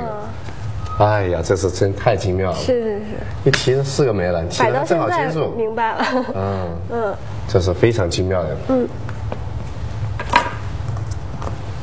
还惦记着这个惦。记这个，所以说，如果走成这样的话是不行的。嗯。但是黑棋白棋呢，就先打了一下，粘上。接住。嗯。然后这时候再拉这个，啊，现在就不一样了。现在呢，就是如果你还是藏这个，他依然还是来这个。嗯。走这个，还是把它打断，提掉。提掉，打一下，嗯，接住，啊，可以这边再拱一下，再弯一下是先手，再把它接回来，它就黑棋白棋不要求杀黑棋了，但是呢，白棋刚才多打了一下，大家可以发现没有，就是本来是这样的形状，啊。现在因为白棋打了一下，是黑棋往这边 连粘，了一个。填了一手，嗯，然后连是白棋连这个都能接回来，是。这个目数可就损失大了。对对对，刚才都是死的。是的，是的，所以白棋也是很狡猾，白棋先打一下，再贴回来。嗯，我们这个一系列变化就是，就可以看出他们的其实啊虽然是快棋，但是计算是非常非常深远的，对。对。就是步步都是有陷阱。嗯，把它贴回来，黑棋一看啊，就断了呗。啊，对对对对对，黑棋说你现在损一个，我我也就算了。嗯，接住，团上。这个对白棋来说现在没办法，这给黑棋制造了一个陷阱，但是黑棋没有钻进去。还是把这边吃了，对，然后他现在接这个接这个挡住。挡上，嗯，这边再跳了一下，对。下针。接人结束，结束了。可以说这几步啊，当初白棋这一长一点，你看现在又调了一个先手，已经是收获还很大。已经是在呃尽可能的那个在在那个想办法去逆转了。嗯，黑棋都是步步都是算了。好，我们这个继续进入到官子的阶段了。嗯，现在呢是搬，可以把它这三个子给吃掉。搬的话，黑棋就接住。粘上呗。嗯。嗯。然后呢，现在你要你要走，不走的话被冲一个还是很大的。嗯。但是呢，就是将来呢，这个打一个，就变成了黑棋的先手，是吧？哦这儿有目数不一样这。边有目数，这边有多少三目棋。嗯。所以呢，白棋思考来思考去呢，他觉得还是就冲一个算了。那我抄。贴嗯，他是先尖的吗？还是先贴的？先贴的。先贴的，嗯。白棋黑棋把这个断了。黑棋断这个。哦，先断这个。这嗯，几个。嗯，这时候，对，断是吃。这个吧？嗯。黑棋尖，这时候白棋把这个给尖了。嗯。或者，这是他的先手呢，打一下，冲结束，冲过来。嗯。现在呢，就是刚才如果是要吃这三个子，这边黑棋先手打，这一二三目棋，黑棋白棋只能先弯一下，让黑棋挡住。对。这一二三目棋，黑棋就多出来了。嗯。所以，所以白棋来说，这个冲过来的选择还是对的。这吃这三个子，但是你看这边也能吃掉两个子。嗯。嗯。从观者的角度是没有问题，他这是这样的，对。好，我觉得我觉得后面的观者还是虽然是不是很复杂，但是还是挺挺讲究的。我们再继续往下看一看。好。现在是该白棋下，对，白棋。白棋现在是走了这个。是嗯，这个棋怎么说呢？这这个大还是这个大？对对对对，从那个价值上来说，嗯，我我觉得还是明显的是这这个这个这边大这个黑先手，这个是黑棋先手是一二，这至少是先手三目棋。嗯，这个吃首先呢，大家看到黑棋是不能提的，提的话这一打就出出事儿。这边给冲进去了。对，这边要出事儿，嗯，你要接这一打就打，全部要出事嗯，儿。这两个就是吊着的，对，这两个吊，既然吊的话，黑棋肯定就不硬了，就接住。嗯，你提掉，黑棋提掉黑棋来收这个。对，其实黑棋白棋就吃掉了四个子，呃，就四目棋四目棋，对不起。那个如果这时候不走，黑棋要走的话，黑棋其实也如果提掉，提掉的话，这边是这边是白棋的先手，嗯，这个没有。这白棋黑棋要硬，嗯，就黑棋白棋如果拐这个，对，这时候跟刚才比啊，就是白棋吃了四目，黑棋现在吃了两目，六目，对吧？看起来是六目，但事实上呢，你挤掉白棋，黑棋接住，黑棋是能冲。哦，对，这边也少了两目少了，嗯，说就是它的价值啊，其实就是就整整的四目棋嗯而且是后手四目棋。后手四目和双先三目，啊不就就那个立收三目立收三目，明显是立收三目价值要大。嗯所以说肯定是连校这时候呢已经是知道，就普通的收收官呢肯定是还是要不足以挽回形势的。嗯，所以就给黑棋制造一个陷阱，看黑棋会不会提。啊，这个 应该不会吧？如果他没有看见上面，嗯，嗯，也有可能在读秒的时候，没错，嗯，但是呢，人家就前也是看得很清楚。是，哎，那这一收这个白棋是不对，这时候要吃吃了以后就只能提了，这时候再提的话就就不一样了，提掉？提掉。嗯，这也爬了一下是吧？对，然后现在三目棋是世界上最大的。嗯，然后呢，接下来这一手呢，也也是可以去给大家介绍一下的。白棋是挤这个，哦，这不是体体验职业棋手这个非常细腻的那个一面。它的好处在什么地方呢？我们简单来看一下，如果立，我就黑棋挡上嗯，白棋挤，粘上跟后面白棋先解，其实结果都是一样，从目数上来说都是一样的。嗯。但是呢，大家会发现这边没有一个劫财。好细腻啊我，们来看对，我们来看看它挤会造成什么样的结果。你就得打黑棋显然不能粘，对吧？对只能打，这时候再立，粘上，粘上，嗯，粘上，管一下。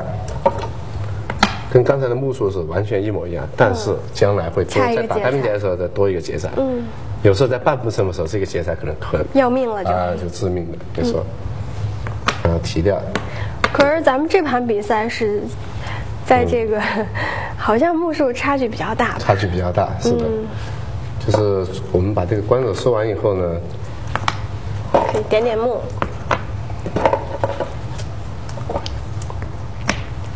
这个对这边都走掉，这边挤掉，然后翻粘，这是两目是要最大的关手。嗯，黑棋这个先冲掉，上面立一下是吧？对啊，黑棋先走这个，哦，走这个，这是这是有一目半，这白棋挖粘以后，这还有一目，还有半目。嗯，弯这个弯粘，这现在现在都是后手一目的关手，白棋团这个顶，顶，一目棋，现在黑棋只剩下单片劫了。如果这个时候真的是要是半目胜负，说不定就这个劫财就起了有关系了起了关系了。嗯，但是因为现在没有没有半目胜负，在黑棋白棋找一个劫财的时候，消解了黑棋，算了，黑棋把它接住。对，他也不费劲了。对他也不给你打劫，反正你得一目嘛，我这也得一。嗯，对我一人得一目。最后一首，最后一首，嗯，其实对咱们中国规则来说，后面是把单关收单关。单关对。单关收完后，最后一幕吧。单关对最后一幕，嗯。没错。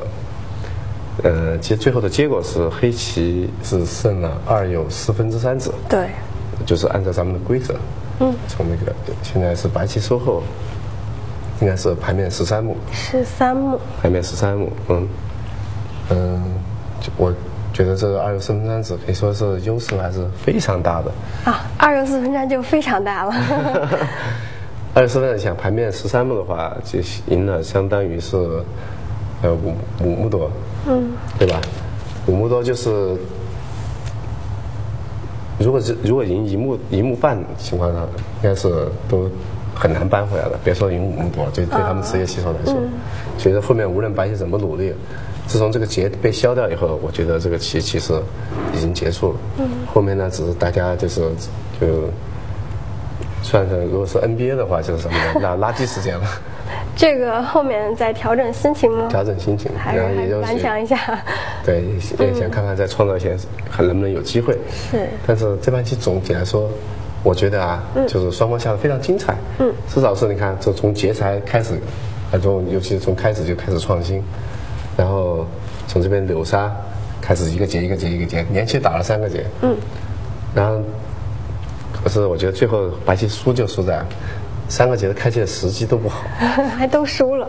三个结，就是在劫财的运用上，可能也是因为时间限制吧。嗯。最后反正这三个节打输了，那整盘棋也就输掉了。